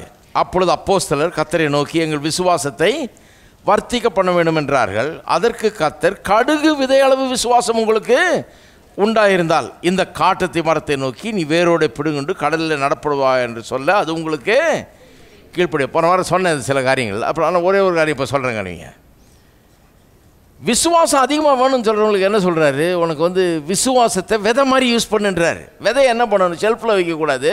விதையை கொண்டு போய் விதைக்கணும். இங்கே ரெண்டு காரியம் சொல்கிறார் ஒன்று வந்து விசுவாசம் வந்து ஒரு விதை வடிவில் இருக்குது. வசனம் என்கிற விதையின் வடிவில் இருக்கிறது. வசனன்றதுக்கு வசனம் தான் விதைன்றது காண்பிக்கிறேன் இப்போ. வசனம் என்கிற விதையின் வடிவில் இருக்கிறது. இந்த வசனம் என்கிற விதையை கொண்டு போய் நீ என்ன பண்ணணும்? விதைக்க வேணுன்றார் எங்கே சொல்லியிருக்கார் விதைக்கணும்னு? விதை மாதிரி விசுவாசம் இருந்ததுன்னா நீ இந்த காட்டத்தை மரத்தை பார்த்து நீ பிடுங்குண்டு சமுத்திரத்தில் நடப்படுவாயாக என்று சொல்ல. ரெண்டு காரியம் சொல்கிறார் ஒன்று விசுவாசம் வந்து விதையாக இருக்குது. ரெண்டு இந்த விசுவாசம் என்னும் விதையை சொல்லி சொல்லி தான் நீ விதைக்கிற அப்படிங்கிறாரு. மரத்தை பற்றியே சொல்கிறாரு பிரச்சனையை பார்த்து என்ன சொல்லணும்னு சொல்கிறாரு உங்களுக்கு எரி வாழ்க்கையில் இடையூறாக இருக்கிற பிரச்சனையை பார்த்து என்ன சொல்லணும் எப்படி பேசணுங்கிறாரு. என்ன சொல்ல போகிறீங்க கத்துடைய வார்த்தை என்ன சொல்லுதோ அது சொல்லுங்கள் பிடுங்குண்டு போவாயாக. சமுத்திரத்து நடுவில் நடப்படுவாயாக. என் வாழ்க்கையிட்டு வெளியே போவாயாக. வலி வேதனையே வியாதியே வறுமையே இல்லாமையே குறைவே தாழ்ச்சியே பலவீனமே பயமே தோல்வியே என்னுடைய வாழ்க்கையை விட்டு நீ பிடுங்குண்டு. சி பாருங்க அந்த மரத்துக்கு என்ன ஆகணும்? மரம் குறுக்க நிற்குது இடையூறாக இருக்குது. போகிற உங்களுடைய வ- வழியை தடுக்குது. என்ன பண்ணணுன்றது என்ன ஆகணுன்றதை சொல்ல ஆன்சரை சொல்ல சொல்கிறாரு ஹலோ நிறைய பேர் இன்னும் ஜபத்தில் பிரச்சனையை தான் சொல்லிட்டு இருக்கிறாங்க ஆன்சரை சொல்லவே ஆரம்பிக்கல. ஆனால் ஆன்சர் வரும்னு எதிர்பார்க்குறாங்க. என்ன சொல்கிறாரு நீ பிடுங்குண்டு சமுத்திரத்தில் நடப்படுவாயாகன்னா ஒருபோதும் திரும்பி வராது இந்த பக்கம்ன்ற. அங்கேயே நடப்பட்டு அங்கே வளர்ந்துக்கிட்டு இங்கே எங்கே என் வாழ்க்கையில்? வர உங்கள் பிரச்சனைக்கு என்ன ஆகணும்னு நீங்கள் விரும்புகிறீங்க அதை சொல்ல சொல்கிறாரு என்ன ஆகணும்னு வேதவசனம் சொல்லுது அதை சொல்ல சொல்கிறாரு உங்களுடைய சுகவீனத்துக்கு என்ன ஆகணும்னு வேத வசனம் சொல்லுது. அதை சொல்ல சொல்கிறார் உங்களுடைய குறைவு தாழ்ச்சிக்கு இல்லாமைக்கு வறுமைக்கு உங்களுடைய தோல்விக்கு அந்த தோல்வி என்ன ஆகணும்னு வேத வசனம் என்ன சொல்லுகிறது? அதை நீங்கள் சொல்லுங்கன்றாரு. வாய்த்தரன் சொல்லுங்கள் அந்த தோல்வி எங்கே போகணும் அந்த குறைவு எங்கே போகணும் என்ன ஆகணும் அதுக்கு? அதை சொல்லுன்றாரு. பிடுங்குண்டு போவாயாக. என் வாழ்க்கையிலேருந்து வேரோடு பிடுங்குண்டு போவாயாக. சமுத்திரத்து நடுவில் நடப்படுவாயாக என்று சொல்ல அது உங்களுக்கு கீழ்ப்படியும். எது உங்களுக்கு கீழ்ப்படியும்? அது. எது? அந்த மரம். அல்லது எதுவாக இருந்தாலும் உங்களுக்கு கீழ்ப்படியும் என்கிறார். மார்க் நான்காம் அதிகாரத்துக்கு திருப்போம் மார்க் நான்காம் அதிகாரம் மத்திய பதிமூணாம் அதிகாரம் ரொம்ப முக்கியமான ஒரு ஒரு ஓமையை நமக்கு சொல்லுகிறது. விதைக்கிறவனை குறித்த ஓமை. திருப்பி திருப்பி இதுக்கு வருவோம். ஏனென்று சொன்னால் இதில் நிறைய காரியங்கள் இருக்கிறது. இதன் அடிப்படையில் தான் இந்த போதனைகள்லாம் இருக்குது பாருங்கள் தேவனுடைய ராஜ்யம்னா என்ன? அது எப்படி வேலை செய்யுது இந்த விசுவாசம்லாம் எப்படி இயங்குகிறது? எப்படி காரியங்கள் நடக்கிறது தேவனுடைய ராஜ்யத்தில்? இந்த விசுவாசம் பிரமாணம் எப்படி வேலை செய்யுது? நல்லா புரிஞ்சுக்கணுன்னா இந்த மத்தை பதிமூணு மார்க் நான்கில் ரெண்டுத்துலையும் ஒரே உண்மை தான் ரெண்டு இடத்துலையும் இருக்குது. ஆகவே ரெண்டு இடத்துலையும் பார்க்குறது நல்லது. இன்னும் மூணாவது இடத்துலையும் லூக்காவிலையும் அதை பார்க்குறோம். பட் இந்த ரெண்டு இடத்துலையும் பார்த்தா ரொம்ப பெனிஃபிஷியலாக இருக்கும் நமக்கு. என்னவா தேவனுடைய ராஜ்யம் எப்படி இருக்குதான் சொல்கிறாரு நான்காம் அதிகாரத்தில் பார்த்தீங்கன்னா. மூன்றாம் வசனத்திலிருந்து மூன்றாம் வசனம் இல்லை. ஆ மூன்றாம் வசனத்திலேருந்து ஆரம்பிக்கிறார். விதைக்கிறவன் விதைக்க புறப்பட்டான்னு.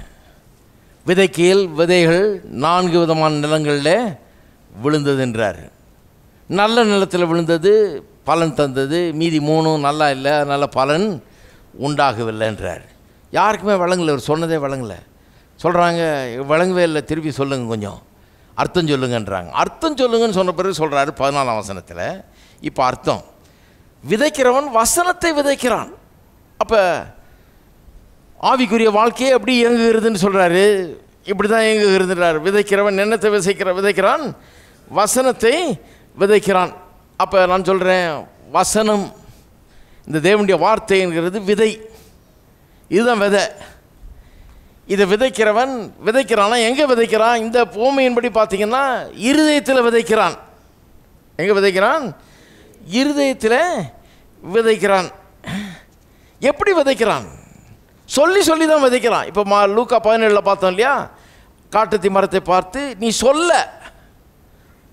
சொல்லி தான் விதைக்கிறான். அது நிறைய வசனங்களில் வருது. ரோமர் பத்து ஆறுலேருந்து எட்டு வரைக்கும். அதில் பார்த்தீங்கன்னா விசுவாசம் என்ன சொல்லுகிறது? யார் போய் கிறிஸ்துவ மேலேருந்து கொண்டு வருவான் பாதாளத்திலேருந்து ஏறி வர பண்ணுறது யாருன்னு சொல்லாதான். விசுவாசம் என்ன சொல்லுகிறது? இந்த வார்த்தை உனக்கு சமீபமாய். உன் வாயிலும் உன் இருதயத்திலும் இருக்கிறதே. நீ இயேசுவை ஆண்டவர் என்று உன் வாயினால் அறிக்கையை செய்து தேவன் அவரை மரித்தோரிலிருந்து எழுப்பினார் என்று இருதயத்தில் விசுவாசித்தால் ரட்சிக்கப்படுவாய் அப்போ வாயிலும் இருதயத்தில் இருக்குதான் பாருங்க. நான் சொல்கிறேன் இப்படி வாயிலும் இருதயத்தில் இருக்கிறது நல்லா புரிஞ்சுங்க. வாயிலிருந்து தான் இருதயத்துக்கு போகுது அதுதான் அப்படி சொல்லியிருக்குது. வாயிலும் இருதயத்திலும் இருக்கிறதே. இந்த விசுவாச வார்த்தை எங்கே இருக்குது? வாயிலும் இருதயத்தில் இருக்குது. அப்போ இருதயத்துக்கு எப்படி போகுது? நான் சொல்கிறேன் வாயிலிருந்து தான் இருதயத்துக்கு போகிறது அதுதான் அப்படி சொல்லியிருக்குது.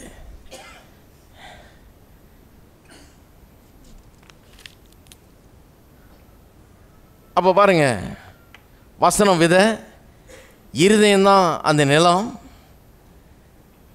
அப்போ இந்த வாயை உபயோகப்படுத்தி நான் சொல்ல சொல்ல வசனத்தை சொல்ல சொல்ல என்ன பண்ணுகிறேன்? என்னுடைய இருதயத்துக்குள்ள அந்த காரியங்களை தேவனுடைய சித்தத்தை நான் பதிக்கிறேன். என்னுடைய சுகம் வாழ்வு வெற்றி ஜெயம் இவைகள் அப்படியே வந்து என்னுடைய இருதயத்தில் என்ன ஆகிடுது பதிவாகிடுது இந்த காப்பிங் மிஷினில் ஒரிஜினலில் வச்சா எப்படி அதை அப்படியே கேப்சர் பண்ணுதோ அது அந்த வெளிச்சம் வந்து கேப்சர் பண்ணுதோ அதுபோல் வந்து அங்கே கேப்சர் ஆகிடுறது சொல்ல சொல்ல. சொல்லும்போது என்ன ஆகிறது உள்ளே போய் என் உள்ளத்தில் வந்து என் என்னுடைய என்னுடைய இருதயமாகிய அந்த நிலத்தில் நான் வசனத்தை விதைக்கும் போது என்ன ஆகிறது இந்த ஒரிஜினல் அந்த ஒயிட் பேப்பரில் காப்பி ஆகிற மாதிரி ஆயிடுது. இதை குறித்து சொல்லும்போது மார்க் நான்காம் அதிகாரத்தில் பார்த்தீங்கன்னா வேத வசனம் சொல்லு இயேசு சொல்கிறாரு வசனத்தை கேட்டவுடன் பதினஞ்சாம் வசனம் வசனத்தை விதைக்கிறான் விதைக்கிறவன் வசனத்தை விதைக்கிறான் பதினாலு பதினஞ்சு வசனத்தை கேட்ட உடனே சாத்தான் வந்து அவர்கள் இருதயங்கள் விதைக்கப்பட்ட வசனத்தை எடுத்து போடுறான். நல்ல கவனிங்க? இருதயங்கள் விதைக்கப்பட்ட வசனத்தை. எல்லாம் சொல்லுங்க இருதயங்களில். அப்போ வசனம் எங்கே விதைக்கப்படுறது? இருதயத்தில். அப்போ வசனம் வந்து விதை அது விதைக்கப்படுற நிலம் எது? இருதயம். நல்லா தெரிஞ்சிருது. இருதயத்தில் வச வ- விதைக்கப்பட்ட வசனத்தை சாத்தான் வந்து உடனே எடுத்து போடுகிறான். அப்போ சாத்தானுக்கு தெரியுது எது வேலை செய்யுதுன்னு எப்படி இந்த இந்த விசுவாசம் என்ன பிரமாணம் எப்படி வேலை செய்யுது? இது ஒரு மனுஷனை என்ன வாக்குன்றது சாத்தானுக்கு தெரியுது பாருங்கள் நிறைய விசுவாசிகளுக்கு தான் தெரியல. சாத்தான் நல்லா தெரிஞ்சு வச்சிருக்கிறான். நீங்கள் கோயிலுக்கு போகிறத பற்றி சாத்தானுக்கு பிரச்சனை இல்லை பாட்டு பாடுறது பிரச்சனை இல்லை நீங்கள் அல்லேலியான்றது பிரச்சனை இல்லை ஆமைன்றதும் பிரச்சனை இல்லை. நீங்கள் கிறிஸ்தவர்களாக இருக்கிறது பிரச்சனை இல்லை சாத்தானுக்கு எதுவுமே பிரச்சனை இல்லை. ஆனால் வசனம் இருதயத்துக்குள்ளே போகிறது தான் பிரச்சனையாக இருக்குது. நீங்கள் கிறிஸ்தவர்களாக இருக்கிறதுனால ஒன்றும் ஆக போகிறதில்ல ஜார்ஜி ஜேம்ஸின் பேர் வச்சுருக்கிறதுனால ஒன்றும் ஆக போகிறதில்ல வசனம் வந்து ஒரு மனுஷன் இந்த பிரின்சிபலை புரிஞ்சுக்கிட்டான்னா அவன் ஏதோ பெருசாக செய்ய போகிறான்னு அர்த்தம். ஒரு மனுஷன் என்னைக்கு வசனம் விதைன்னு புரிஞ்சுக்கிட்டு அந்த வசனமாகிய விதையை சொல்லி சொல்லி தன்னுடைய இருதயத்துக்குள்ளே விதைக்கிறானோ அப்போ இந்த வசனத்தில் இருக்கிற அந்த வெற்றியும் வாழ்வும் சுகமும் பேரனும் எல்லாமே வாழ்க்கையில் உண்டாயிடுன்றது சாத்தானுக்கு புரிகிறது. ஒரிஜினலில் இருக்கிறது காப்பியில் வந்துடணும் தெரியுது அவனுக்கு. இது ஒரிஜினல் இது காப்பி ஹலோ இங்கே சொல்லப்படுகிற வெற்றியினுடைய காப்பி இது. இங்கே சொல்லப்படுகிற சுகத்தினுடைய காப்பி இது. இங்கே சொல்லப்படுகிற வாழ்வினுடைய காப்பி இது. இங்கே இருக்கிற இந்த ஒரிஜினல் இங்கே வந்துடக்கூடாதுன்னு அவன் பார்க்குறான். அது எப்படி வரும்ன்றது விசுவாசிகளுக்குன்னு புரியல. அவங்க என்ன நினச்சிட்டாங்க போய் அவர்கிட்ட ஜெபம் பண்ணிட்டு வந்துடலாம். இங்கே போய் இவரை கொஞ்சம் பார்த்துட்டு வந்துடலாம். இங்கே கொஞ்சம் அங்கே கொஞ்சம் போய் வாங்கிட்டு வந்துடலாம் எதையாவது இதுதான் யோசிச்சுட்டு இருக்கிறாங்க இவங்க. அவன் சொல்கிறான் நல்லா போ. ட்ரெயின் ஏறி போ டோக்கனை வாங்கிட்டு காத்துட்டு லைனில் நில்லு. எல்லார்ட்டையும் போய் ஜெபம் பண்ணிட்டு வா.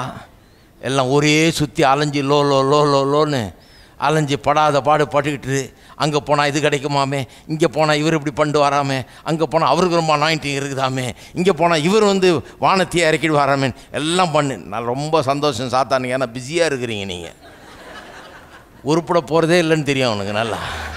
இப்படியே வாழ்நாள் முழுக்க அலைஞ்சு அலைஞ்சு லோ லோ லோன்னு ஒன்றும் இல்லாமல் போட்டுன்னு அவன் பேசாமல் இருக்கான் பாருங்க அவங்கள பற்றி கவலைப்படுறதே கிடையாது.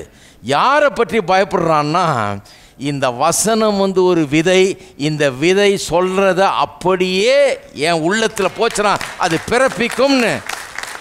பிறப்பிக்கும் நம்புகிற விசுவாசியை புரிஞ்சு கொள்கிற விசுவாசியை குறித்து அவன் பயப்படுறான். ஏன்னா பிறப்பிச்சிருவான் அந்த விசுவாசி. அது அது தன் தன் ஜாதியின்படி பிறப்பிக்கும்படி எல்லா விதைகளையும் புல் பூண்டுகளுடைய விதைகளையும் கடவுள் உண்டு பண்ணியிருக்கிறாரு. இந்த வசனமாகிய விதையும் அப்படித்தான் உண்டு பண்ணப்பட்டிருக்கிறது. நான் அனுப்பின காரியம் ஆகும்படி செய்யும்ன்றாரு. அந்த விதைக்குள்ள ஒரு டிஎன்ஏ இருக்குது. இந்த விதைக்குள்ள ஒரு சில காரியங்களை ப்ரோக்ராம் பண்ணியிருக்காரு கர்த்தர். சுகத்தை கொடுன்றதுக்காக தான் சுகத்தின் வாக்குத்தத்தங்களை கொடுத்துருக்கிறாரு. வாழ்வை உண்டாக்குறதுக்காக தான் செழிப்பை குறித்த வசனங்கள் இங்கே இருக்கிறது. அது உண்டாக்கிட வந்துச்சுன்னா வந்துச்சுன்னா உள்ளே வந்து உண்டாக்கிடும். அப்போ சாத்தானுக்கு நல்லா தெரியுது. இது இது போச்சுன்னா இவன் பெரிய ஆள் ஆகிடுவான் இங்கே இருக்கிறது இங்கே வந்துடும் காப்பி எடுத்துருவாங்க. இங்கே இருக்கிற மாதிரியே இங்கே வாழ்க்கை உண்டாயிடும்னு அவனுக்கு தெரியும். இது போய் உள்ளத்தில் பதிஞ்சிருச்சுன்னா அப்புறம் உலகத்திலேருந்து எந்த இந்த மற்றதெல்லாம் ஒட்டாது. எது ஒட்டும்? வெறும் வெற்றி வாழ்வு நல்ல காரியங்கள் மட்டும்தான் ஒட்டுன்றது தெரியுது அவனுக்கு. அதனால் இது போய் உள்ளே சேர்ந்துடாதபடிக்கு அவன் பார்க்குறான். வசனம் விதைக்கப்பட்ட உடனே வந்து எடுத்து போடுகிறான் விதைக்கப்பட்ட எடுத்து போடுறான உடனே அவன் வந்து இஷ்டத்துக்கு வந்து யார்கிட்ட வேணால் வந்து யார் வசனத்தை கேட்டாலும் வந்து எடுத்து போடணும் எடுத்து போட்டுற முடியுங்கிற மாதிரி கிடையாது. எப்போ எடுத்து போடுறான்றத க்ளீனாக சொல்லியிருக்கு பாருங்கள் இதே உமையை மத்தையில் சொல்லும்போது இப்படி சொல்கிறாரு பாருங்கள் எல்லா நேரமும் அவன் எடுத்து போட முடியாது எல்லார்கிட்ட எடுத்து போட முடியாது. யார்கிட்டருந்து எடுத்து போடுகிறான்? மற்ற பதிமூணாம் அதிகாரம் பத்தொன்பதாம் வசனம். ஒருவன் ராஜ்யத்தின் வசனத்தை கேட்டும். தேவ உண்மைதான் பாருங்கள் அங்கே ஒரு காரியத்தை சேர்க்குறாரு. ராஜ்யத்தின் வசனத்தை கேட்டும். உணராது இருக்கும்போது ஆங்கிலத்தில் வாஸ்து பார்த்தீங்கன்னா அண்டர்ஸ்டாண்ட்ஸ் இட் நாட் உணராது இருக்கும்போதுனா புரிந்து கொள்ளாமல் இருக்கும்போது வசனத்தை கேட்குறான் ஒருத்தன். ஆனால் அது என்ன சொல்லுதுன்றது அவனுக்கு சரியா? புரியல. புரியாது இருக்கும்போது அப்படியே வாசிக்கலாம்.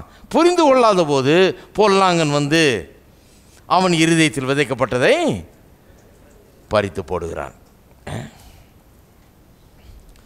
எப்போ? புரிந்து கொள்ளாத போது.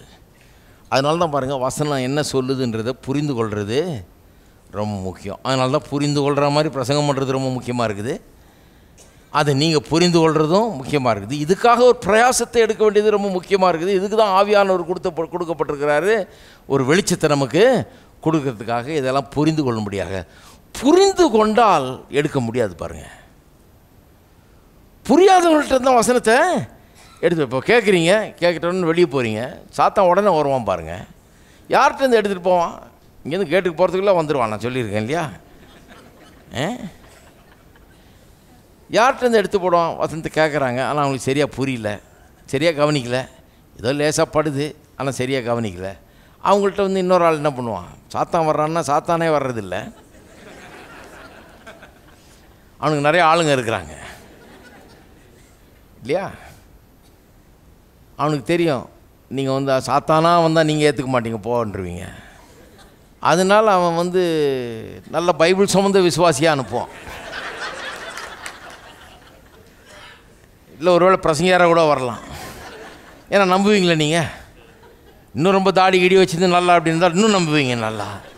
இப்படியெல்லாம் அனுப்புவான் பாருங்கள் அனுப்பிச்சு யார்கிட்டேருந்து எடுத்து பாருங்க. எங்கிட்ட எத்தனை பேர் வந்து கேட்பாங்க. என்கிட்ட எங்கிட்ட வந்து எடுத்து போடுறதுக்கு எத்தனையோ பேர் வர்றாங்க. ஏன்ட்டு எடுத்து போட முடியல?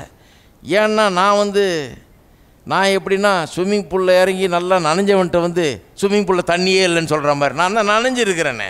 எனக்கு தெரியும் போன்னுவேன். நீ என்ன சொல்கிறது எனக்கு தண்ணி இல்லைன்னு. தண்ணி இருக்குது எனக்கு தெரியும். உடம்பெல்லாம் பாரு நனைஞ்சிருக்கேன். உச்சந்தலேருந்து உள்ளங்கால் வர இதில் சிலரும் சொல்லுவாங்க. இந்த ஆசீர்வாதம் ஒருத்தர் ஒருத்தர் சொல்கிறார் ரொம்ப இந்த ஆசீர்வாதம்லாம் ரொம்ப நம்பாதீங்க பிரதர் டூ லேட்டுங்க ரொம்ப அதிகமாகிடுச்சு ஆசீர்வாதம்.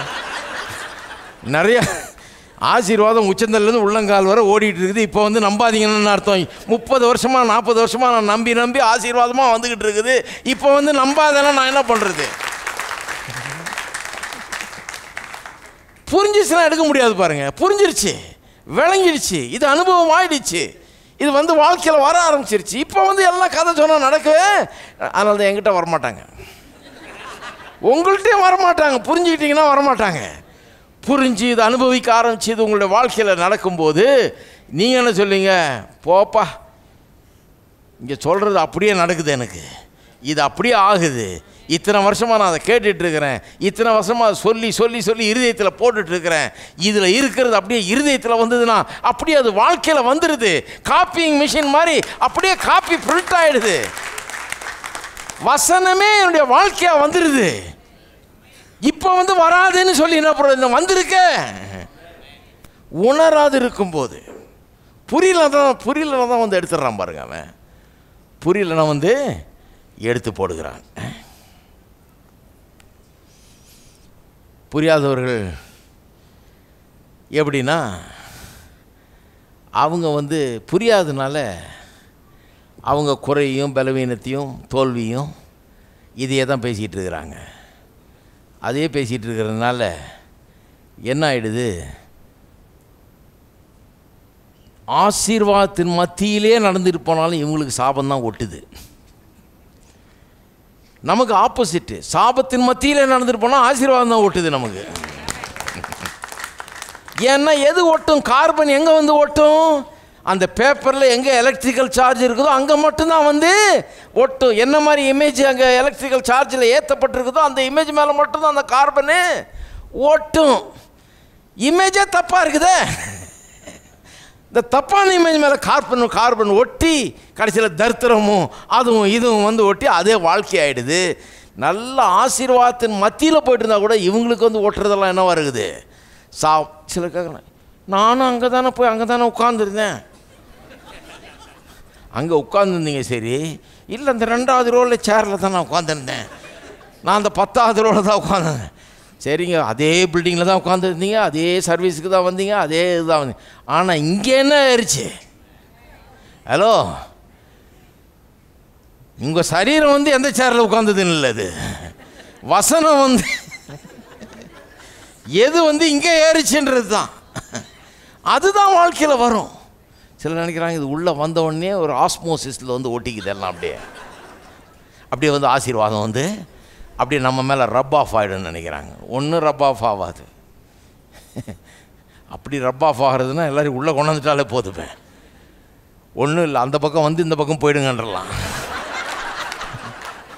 இப்படியே வந்து இப்படி போனீங்கன்னா உள்ளே வந்தோடனே அப்படியே அனாயிண்டிங் அப்படியே ரப் ஆஃப் ஆகிடும் போங்க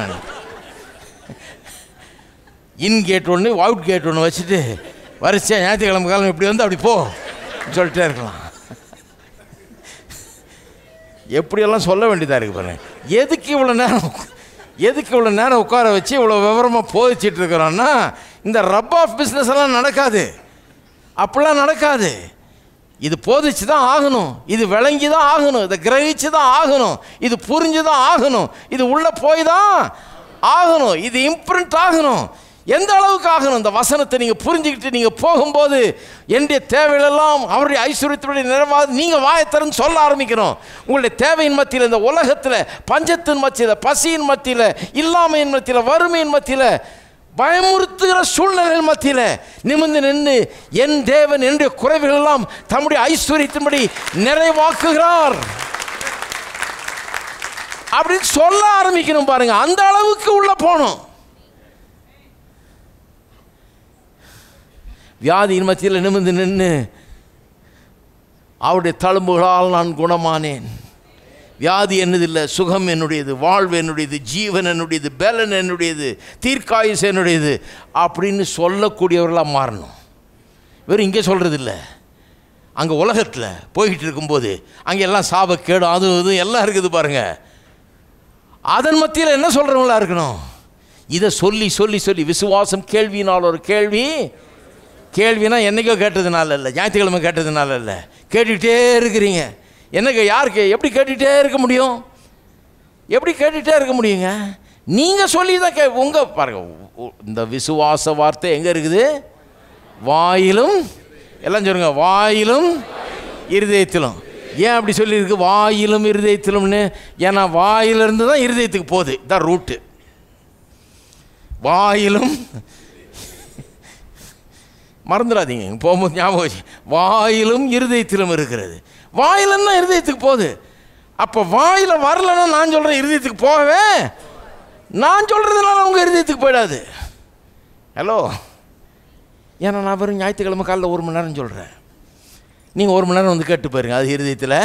இப்போ இந்த ஒரு மணி நேரம் கேட்குறது என்ன புரிந்து கொள்கிறதுக்காக எப்போ இருதயத்தில் போக ஆரம்பிக்கும்? நீங்கள் சொல்ல ஆரம்பிக்கிறீங்க பாருங்கள் அவர் சொன்னது கரெக்டு பாஸ்டர் சாம் சொன்னது இன்றைக்கி கரெக்டு நாளைக்கு என்ன பண்ணுறீங்க உங்கள் பிரச்சனையின் மத்தியில் நீங்கள் சொல்கிறீங்க என் தேவன் என்ற குறைவில் எல்லாம் அவருடைய மகிமை ஐஸ்வர்யத்தில் நிறைவாக்குவார். காலையிலேருந்து சாயந்தரம் வரைக்கும் சொல்கிறீங்க பிரச்சனையின் மத்தியில் சொல்கிறீங்க சூழ்நிலை எழும்போது சொல்கிறீங்க பயமுறுத்துகிற சுச்சுவேஷன் உண்டாகும்போது சொல்கிறீங்க அப்படி சொல்லி சொல்லி தான் இருதயத்துள்ள போகிறது வாயிலும் இருதயத்திலும் இருக்கிறது. இது நாங்கள் பிரசங்கிக்கிற விசுவாச வார்த்தை நான் பிரசங்கிச்சா போதாது. அது உங்கள் வாயில் வரணும் அப்புறம் உங்கள் இருதயத்துக்குள்ளே போகணும் அதாவது நான் பிரசங்கிக்கிறத நீங்கள் புரிந்து கொண்டு அதை எடுத்துகிட்டு போய் உங்கள் வாயால் சொல்லி உங்கள் இருதயத்தை சார்ஜ் பண்ண வேண்டும். அந்த காப்பிங் மிஷின் வந்து என்ன பண்ணுது? அந்த லைட் வந்து அந்த இமேஜை கேப்சர் பண்ணி அந்த வெள்ளை பேப்பரை ஒரு எலக்ட்ரிக்கல் சார்ஜால் சார்ஜ் பண்ணுகிறது. அந்த பேப்பர் பார்த்தீங்கன்னா ஒன்றுமே இல்லாத மாதிரி இருக்கும். என்னங்க வெறும் வெள்ளை பேப்பராக தான் இருக்குது சார்ஜுன்றீங்களா ஆமாம் கார்பன் காட்ரேஜ் மேலே விட்டு பாருங்கள் கரெக்டாக அந்த கார்பன் வந்து எங்கெல்லாம் சார்ஜ் இருக்கோ அங்கே தான் ஓட்டும். எங்கெல்லாம் எழுத்து இருக்குதோ எங்கெல்லாம் படம் இருக்குதோ அங்கே மட்டும்தான் ஓட்டும். பார்க்குறதுக்கு தெரியாது. இல்லையா? அப்போ உள்ள வசனம் ஏறிடுச்சுன்னா ஆளை பார்த்தா ஒன்றும் தெரியாது. ஆனால் அவன் இந்த சாபக்கேடான உலகத்தில் பாருங்கள் எது ஓட்டும் அவனுக்கு? சாபம் ஓட்டவே ஓட்டாது. ஆசீர்வாதம் தான் ஒட்டும் வெற்றி தான் ஒட்டும் ஜெயந்தான் ஒட்டும் இருக்கீங்களா? இதே இயேசு போதிக்கிறார் பாருங்க இன்னொரு இடத்துல. திருப்புங்க. மத்திய பன்னெண்டாம் அதிகாரம். மத்திய பன்னெண்டில். முப்பத்தி அஞ்சாம் வசனம். நல்ல மனுஷன் என்ன சொல்லுங்கள் நல்ல மனுஷன். யார் நல்ல மனுஷன்? அவர் ரொம்ப நல்லவருங்க. அப்படி இல்லை. யார் நல்ல மனுஷன் காமி நல்ல நல்ல மனுஷன் இருதயமாகிய நல்ல பொக்கிஷத்திலிருந்து நல்லவைகளை எடுத்து காட்டுகிறான். பொல்லாத மனுஷன் பொல்லாத பொக்கிஷத்திலிருந்து பொல்லாதவைகளை எடுத்து காட்டுகிறான். நல்லா கவனிங்க. சிலர் என்ன சொல்கிறாங்க இந்த மாதிரி போதனையை காட்டுறோன்னே பிரதர் என்ன பிரதர் உலக பிரகாரமான போதனையாக இருக்குது இது. நீங்கள் என்ன சொல்ல வர்றீங்க? நாமளே எல்லாம் நல்லதெல்லாம் உண்டாக்கிடலான்றீங்க நமக்கு நல்லதெல்லாம் நாமளே பிறப்பிச்சிடலாம் நாமளே உண்டாக்கிடலான்றாங்க அப்போ வந்து மனுஷன் வந்து ஒரு செல்ஃப் சஃபிஷியன்ட் க்ரீச்சர் அவன் வந்து எல்லா நன்மைகளும் அவனுக்குள்ளேயே இருக்குது.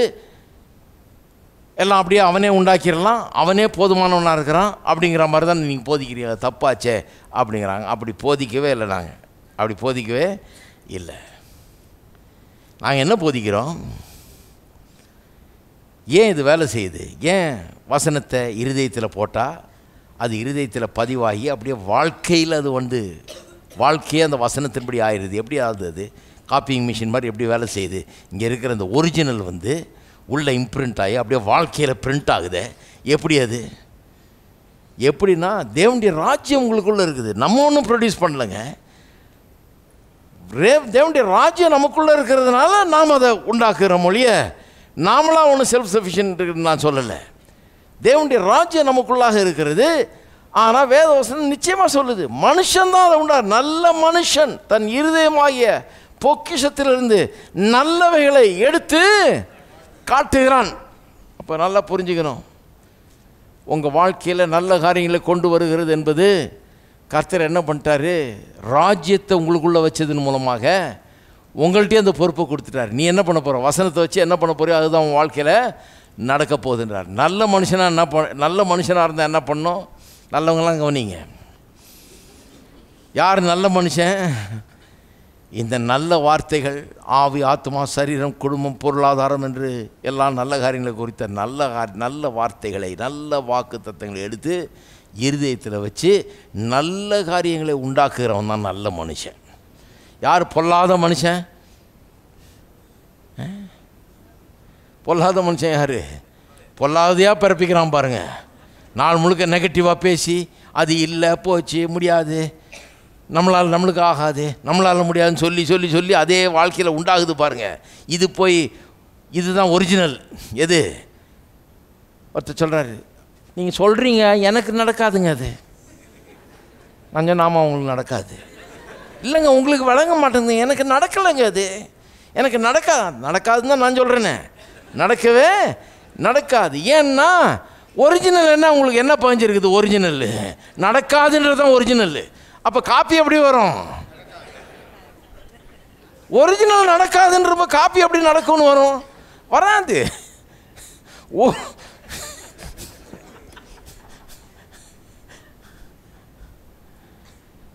நான் ஒன்றும் இல்லைங்க குப்பை தூசி பூச்சி புழு. அப்புறம் காப்பி எப்படி வரும்? குப்பை தூசி பூச்சி புழு. அதுதான் வரும் காப்பி. ஒரிஜினல் என்னவோ அதான் காப்பி. இப்படி சொல்லிவிட்டு நீங்கள் சொல்கிறீங்க எனக்கு நடக்க மாட்டேங்குது அப்படின்னா நீங்கள் தான் நடக்காமல் பண்ணிடுறீங்களே. ஒரிஜினலில் இந்த அளவில் இருக்குதே. இருக்கீங்களா? பாருங்கள் நமக்குள்ளே இருக்கிற அந்த தேவனுடைய ராஜ்யம் நமக்கு வேண்டிய அத்தனையும் உண்டாக்கி தரக்கூடியதாக இருக்கிறது. இப்படி தான் கத்தர் ராஜ்யத்தை வச்சுட்டார். தேவனுடைய ராஜ்யம் வசனத்தை விதைக்கிறவனுக்கு ஒப்பாக இருக்கிறது. இப்படி தான் தேவனுடைய ராஜ்யம் வேலை செய்யுது. இந்த ராஜ்யம் தேவனுடைய ராஜ்யத்தை பேசும்போது சொன்னேன் இல்லையா? அந்த ராஜ்யம் வந்து எல்லா சிட்டிசனுடைய எல்லா தேவையிலும் சந்திக்கிற ஒரு ராஜ்யம். இந்த தேவனுடைய ராஜ்யம் மனுஷனுக்குள்ளே இருக்குதான். இது என்னுடைய எல்லா தேவையும் சந்திக்குது. எப்படி சந்திக்குது? இந்த வார்த்தையின் மூலமாக.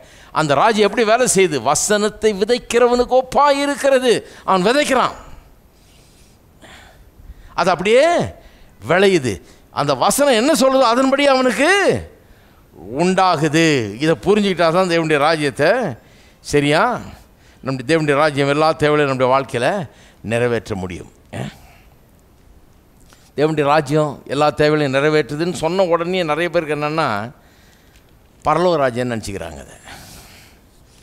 பரலோகத்துக்கு போனோடனே எல்லா தேவையிலும் சந்திக்கப்படும். தேவனுடைய ராஜ்யம் தான் சொல்கிறீங்க பிரதர் அதுக்குள்ளே தான் போக போகிறேன் நான். செத்த பிறகு தேவனுடைய ராஜ்யத்துக்கு?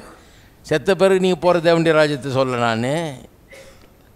இப்போ உலகத்துக்குள்ளே வந்து நமக்குள்ளே வந்திருக்குது தேவனுடைய ராஜ்யம். ஏசு சொன்னார் தேவனுடைய ராஜ்யம் வந்திருக்கு. அதை சொல்கிறேன் இப்படி சித்தம் செய்யப்படுவதாக ராஜ்யம் வருவதாக உடைய சித்தம் பரலோகத்தில் செய்யப்படுகிறது போல பூமியிலையும் செய்யப்படுவதாகன்னு சொன்னார் பாருங்க. எதை சொன்னார்?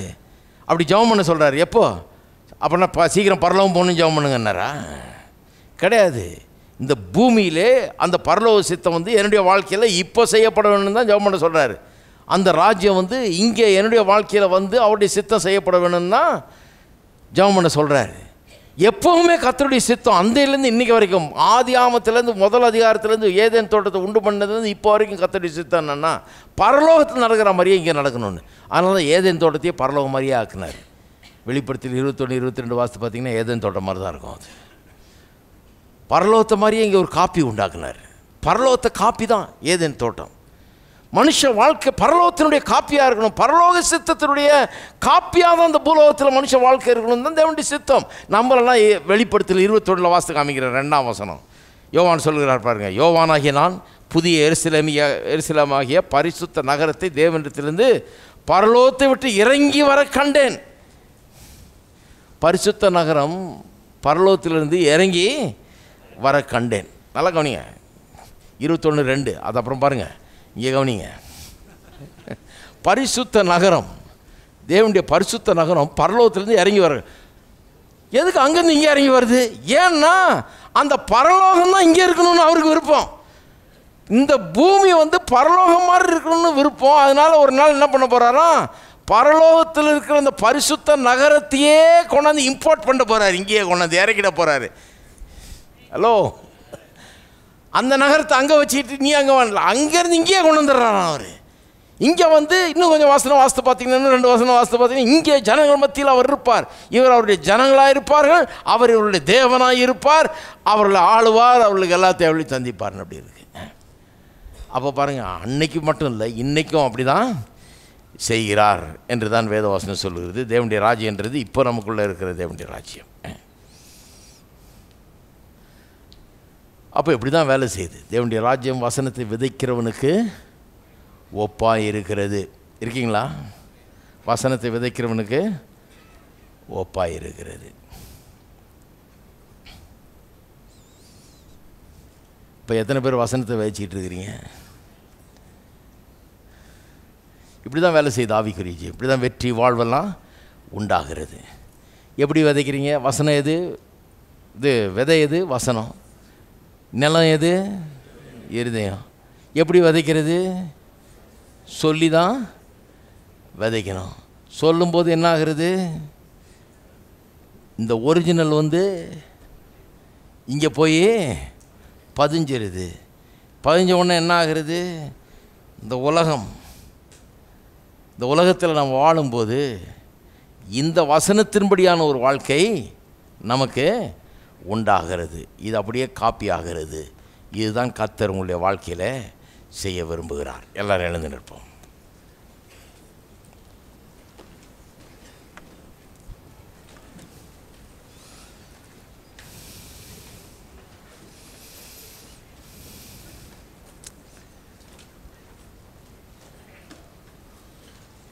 எல்லாரும் கரங்களை வைத்து கத்தரை நாம் ஸ்தோத்தரிப்போம். கத்தரை வார்த்தைக்காக நம் கத்திர ஸ்தோத்திரம் செலுத்துவோம். ஹalleluya ஓ உமக்கு ஸ்தோத்திரம் கர்த்தாவே. துதிக்கிறோம் துதிக்கிறோம் துதிக்கிறோம் கர்த்தாவே. பிதாவே துதிக்கிறோம் ஸ்தோத்திரிக்கிறோம். ஆண்டவராய் இயேசுவின் நாமத்தில் மண்டையில் வருகிறோம். இந்த காலை வேளையில் உடைய வார்த்தை வல்லமையாய் எங்களுடைய இருதயத்துக்கு புறப்பட்டு வந்தபடி ஆளுமுக்கு ஸ்தோத்திரம். கர்த்தாவே இந்த வார்த்தையில் உள்ள சத்தியங்களை அறிந்து கொள்ளும்படியாக மனக்கண்களை பிரகாசமடைய செய்கிறபடி ஆளுமுக்கு ஸ்தோத்திரம் கர்த்தாவே. வார்த்தை அற்புதமானது வல்லமை உள்ளது அது விதையாக இருக்கிறது. பரலோக சித்தத்தை எங்களுடைய பூலோக வாழ்க்கையிலே கொண்டு வந்து நிறைவேற்றக்கூடிய சக்தி அந்த வாழ்க்கை வாழ்க்கை வார்த்தையில் இருக்கிறது. எதற்காக அதை அனுப்பிக்கிறீரோ அதை அதை அதை நிறைவேற்றது வல்லதாக இருக்கிறது வ- வல்லமை உள்ளதாக இருக்கிறது. கர்த்தாவே இந்த காரியங்கள் ஆழமாய் உள்ளங்களில் பதியட்டும் கர்த்தாவே. உம்முடைய சித்தம் பரலோகத்தில் செய்யப்படுவது போல பூமியிலேயும் ஒவ்வொருடைய வாழ்க்கையிலும் செய்யப்படட்டும். ஸ்தோத்திரம். கத்தாவே உடைய வார்த்தை ஒரிஜினல் உம்முடைய சித்தத்தை ஒரிஜினலாக எங்களுக்கு காண்பிக்கிறது. அது எங்களுடைய உள்ளத்திலே ஒரு காப்பி போல உண்டாகட்டும் கர்த்தாவே. என்னுடைய வாழ்க்கையில் அது அப்படியே நிறைவேறட்டும் இயேசுவின் நாமத்தில். உடைய வார்த்தையின்படியே ஆக கடவுது என்று மரியாள் சொன்னது போல உம்முடைய வார்த்தையின்படியே ஆக கடவுது உம்முடைய வார்த்தையின்படியே ஆக கடவுது ஸ்தோத்திரங்கர்த்தாவே வல்லமையாக எங்களுடைய உள்ளங்களில் உடைய வார்த்தையை கொண்டு நீர்க்கிரியை செய்கிறபடி ஆலமுக்கு ஸ்தோத்திரம். வெற்றியும் ஜெயத்தையும் வாழ்வையும் உண்டாக்குகிறபடி ஆளுமுக்கு ஸ்தோத்திரம். உமக்கு எல்லா துதி கனமயமை ஸ்தோத்திரங்களை ஏறெடுக்கிறோம். இயேசுவின் நாமத்திலே ஜபிக்கிறோம். ஆமேன். நம்முடைய கத்ரா இயேசு கிறிஸ்துவின் கிருபையும் பிதாவாகி தேவனுடைய அன்பும் பரிசுத்தாவியானுடைய ஐக்கியம் நம் அனைவரோடும் இன்றைக்கும் என்றைக்கும் இருப்பதாக. ஆமேன்.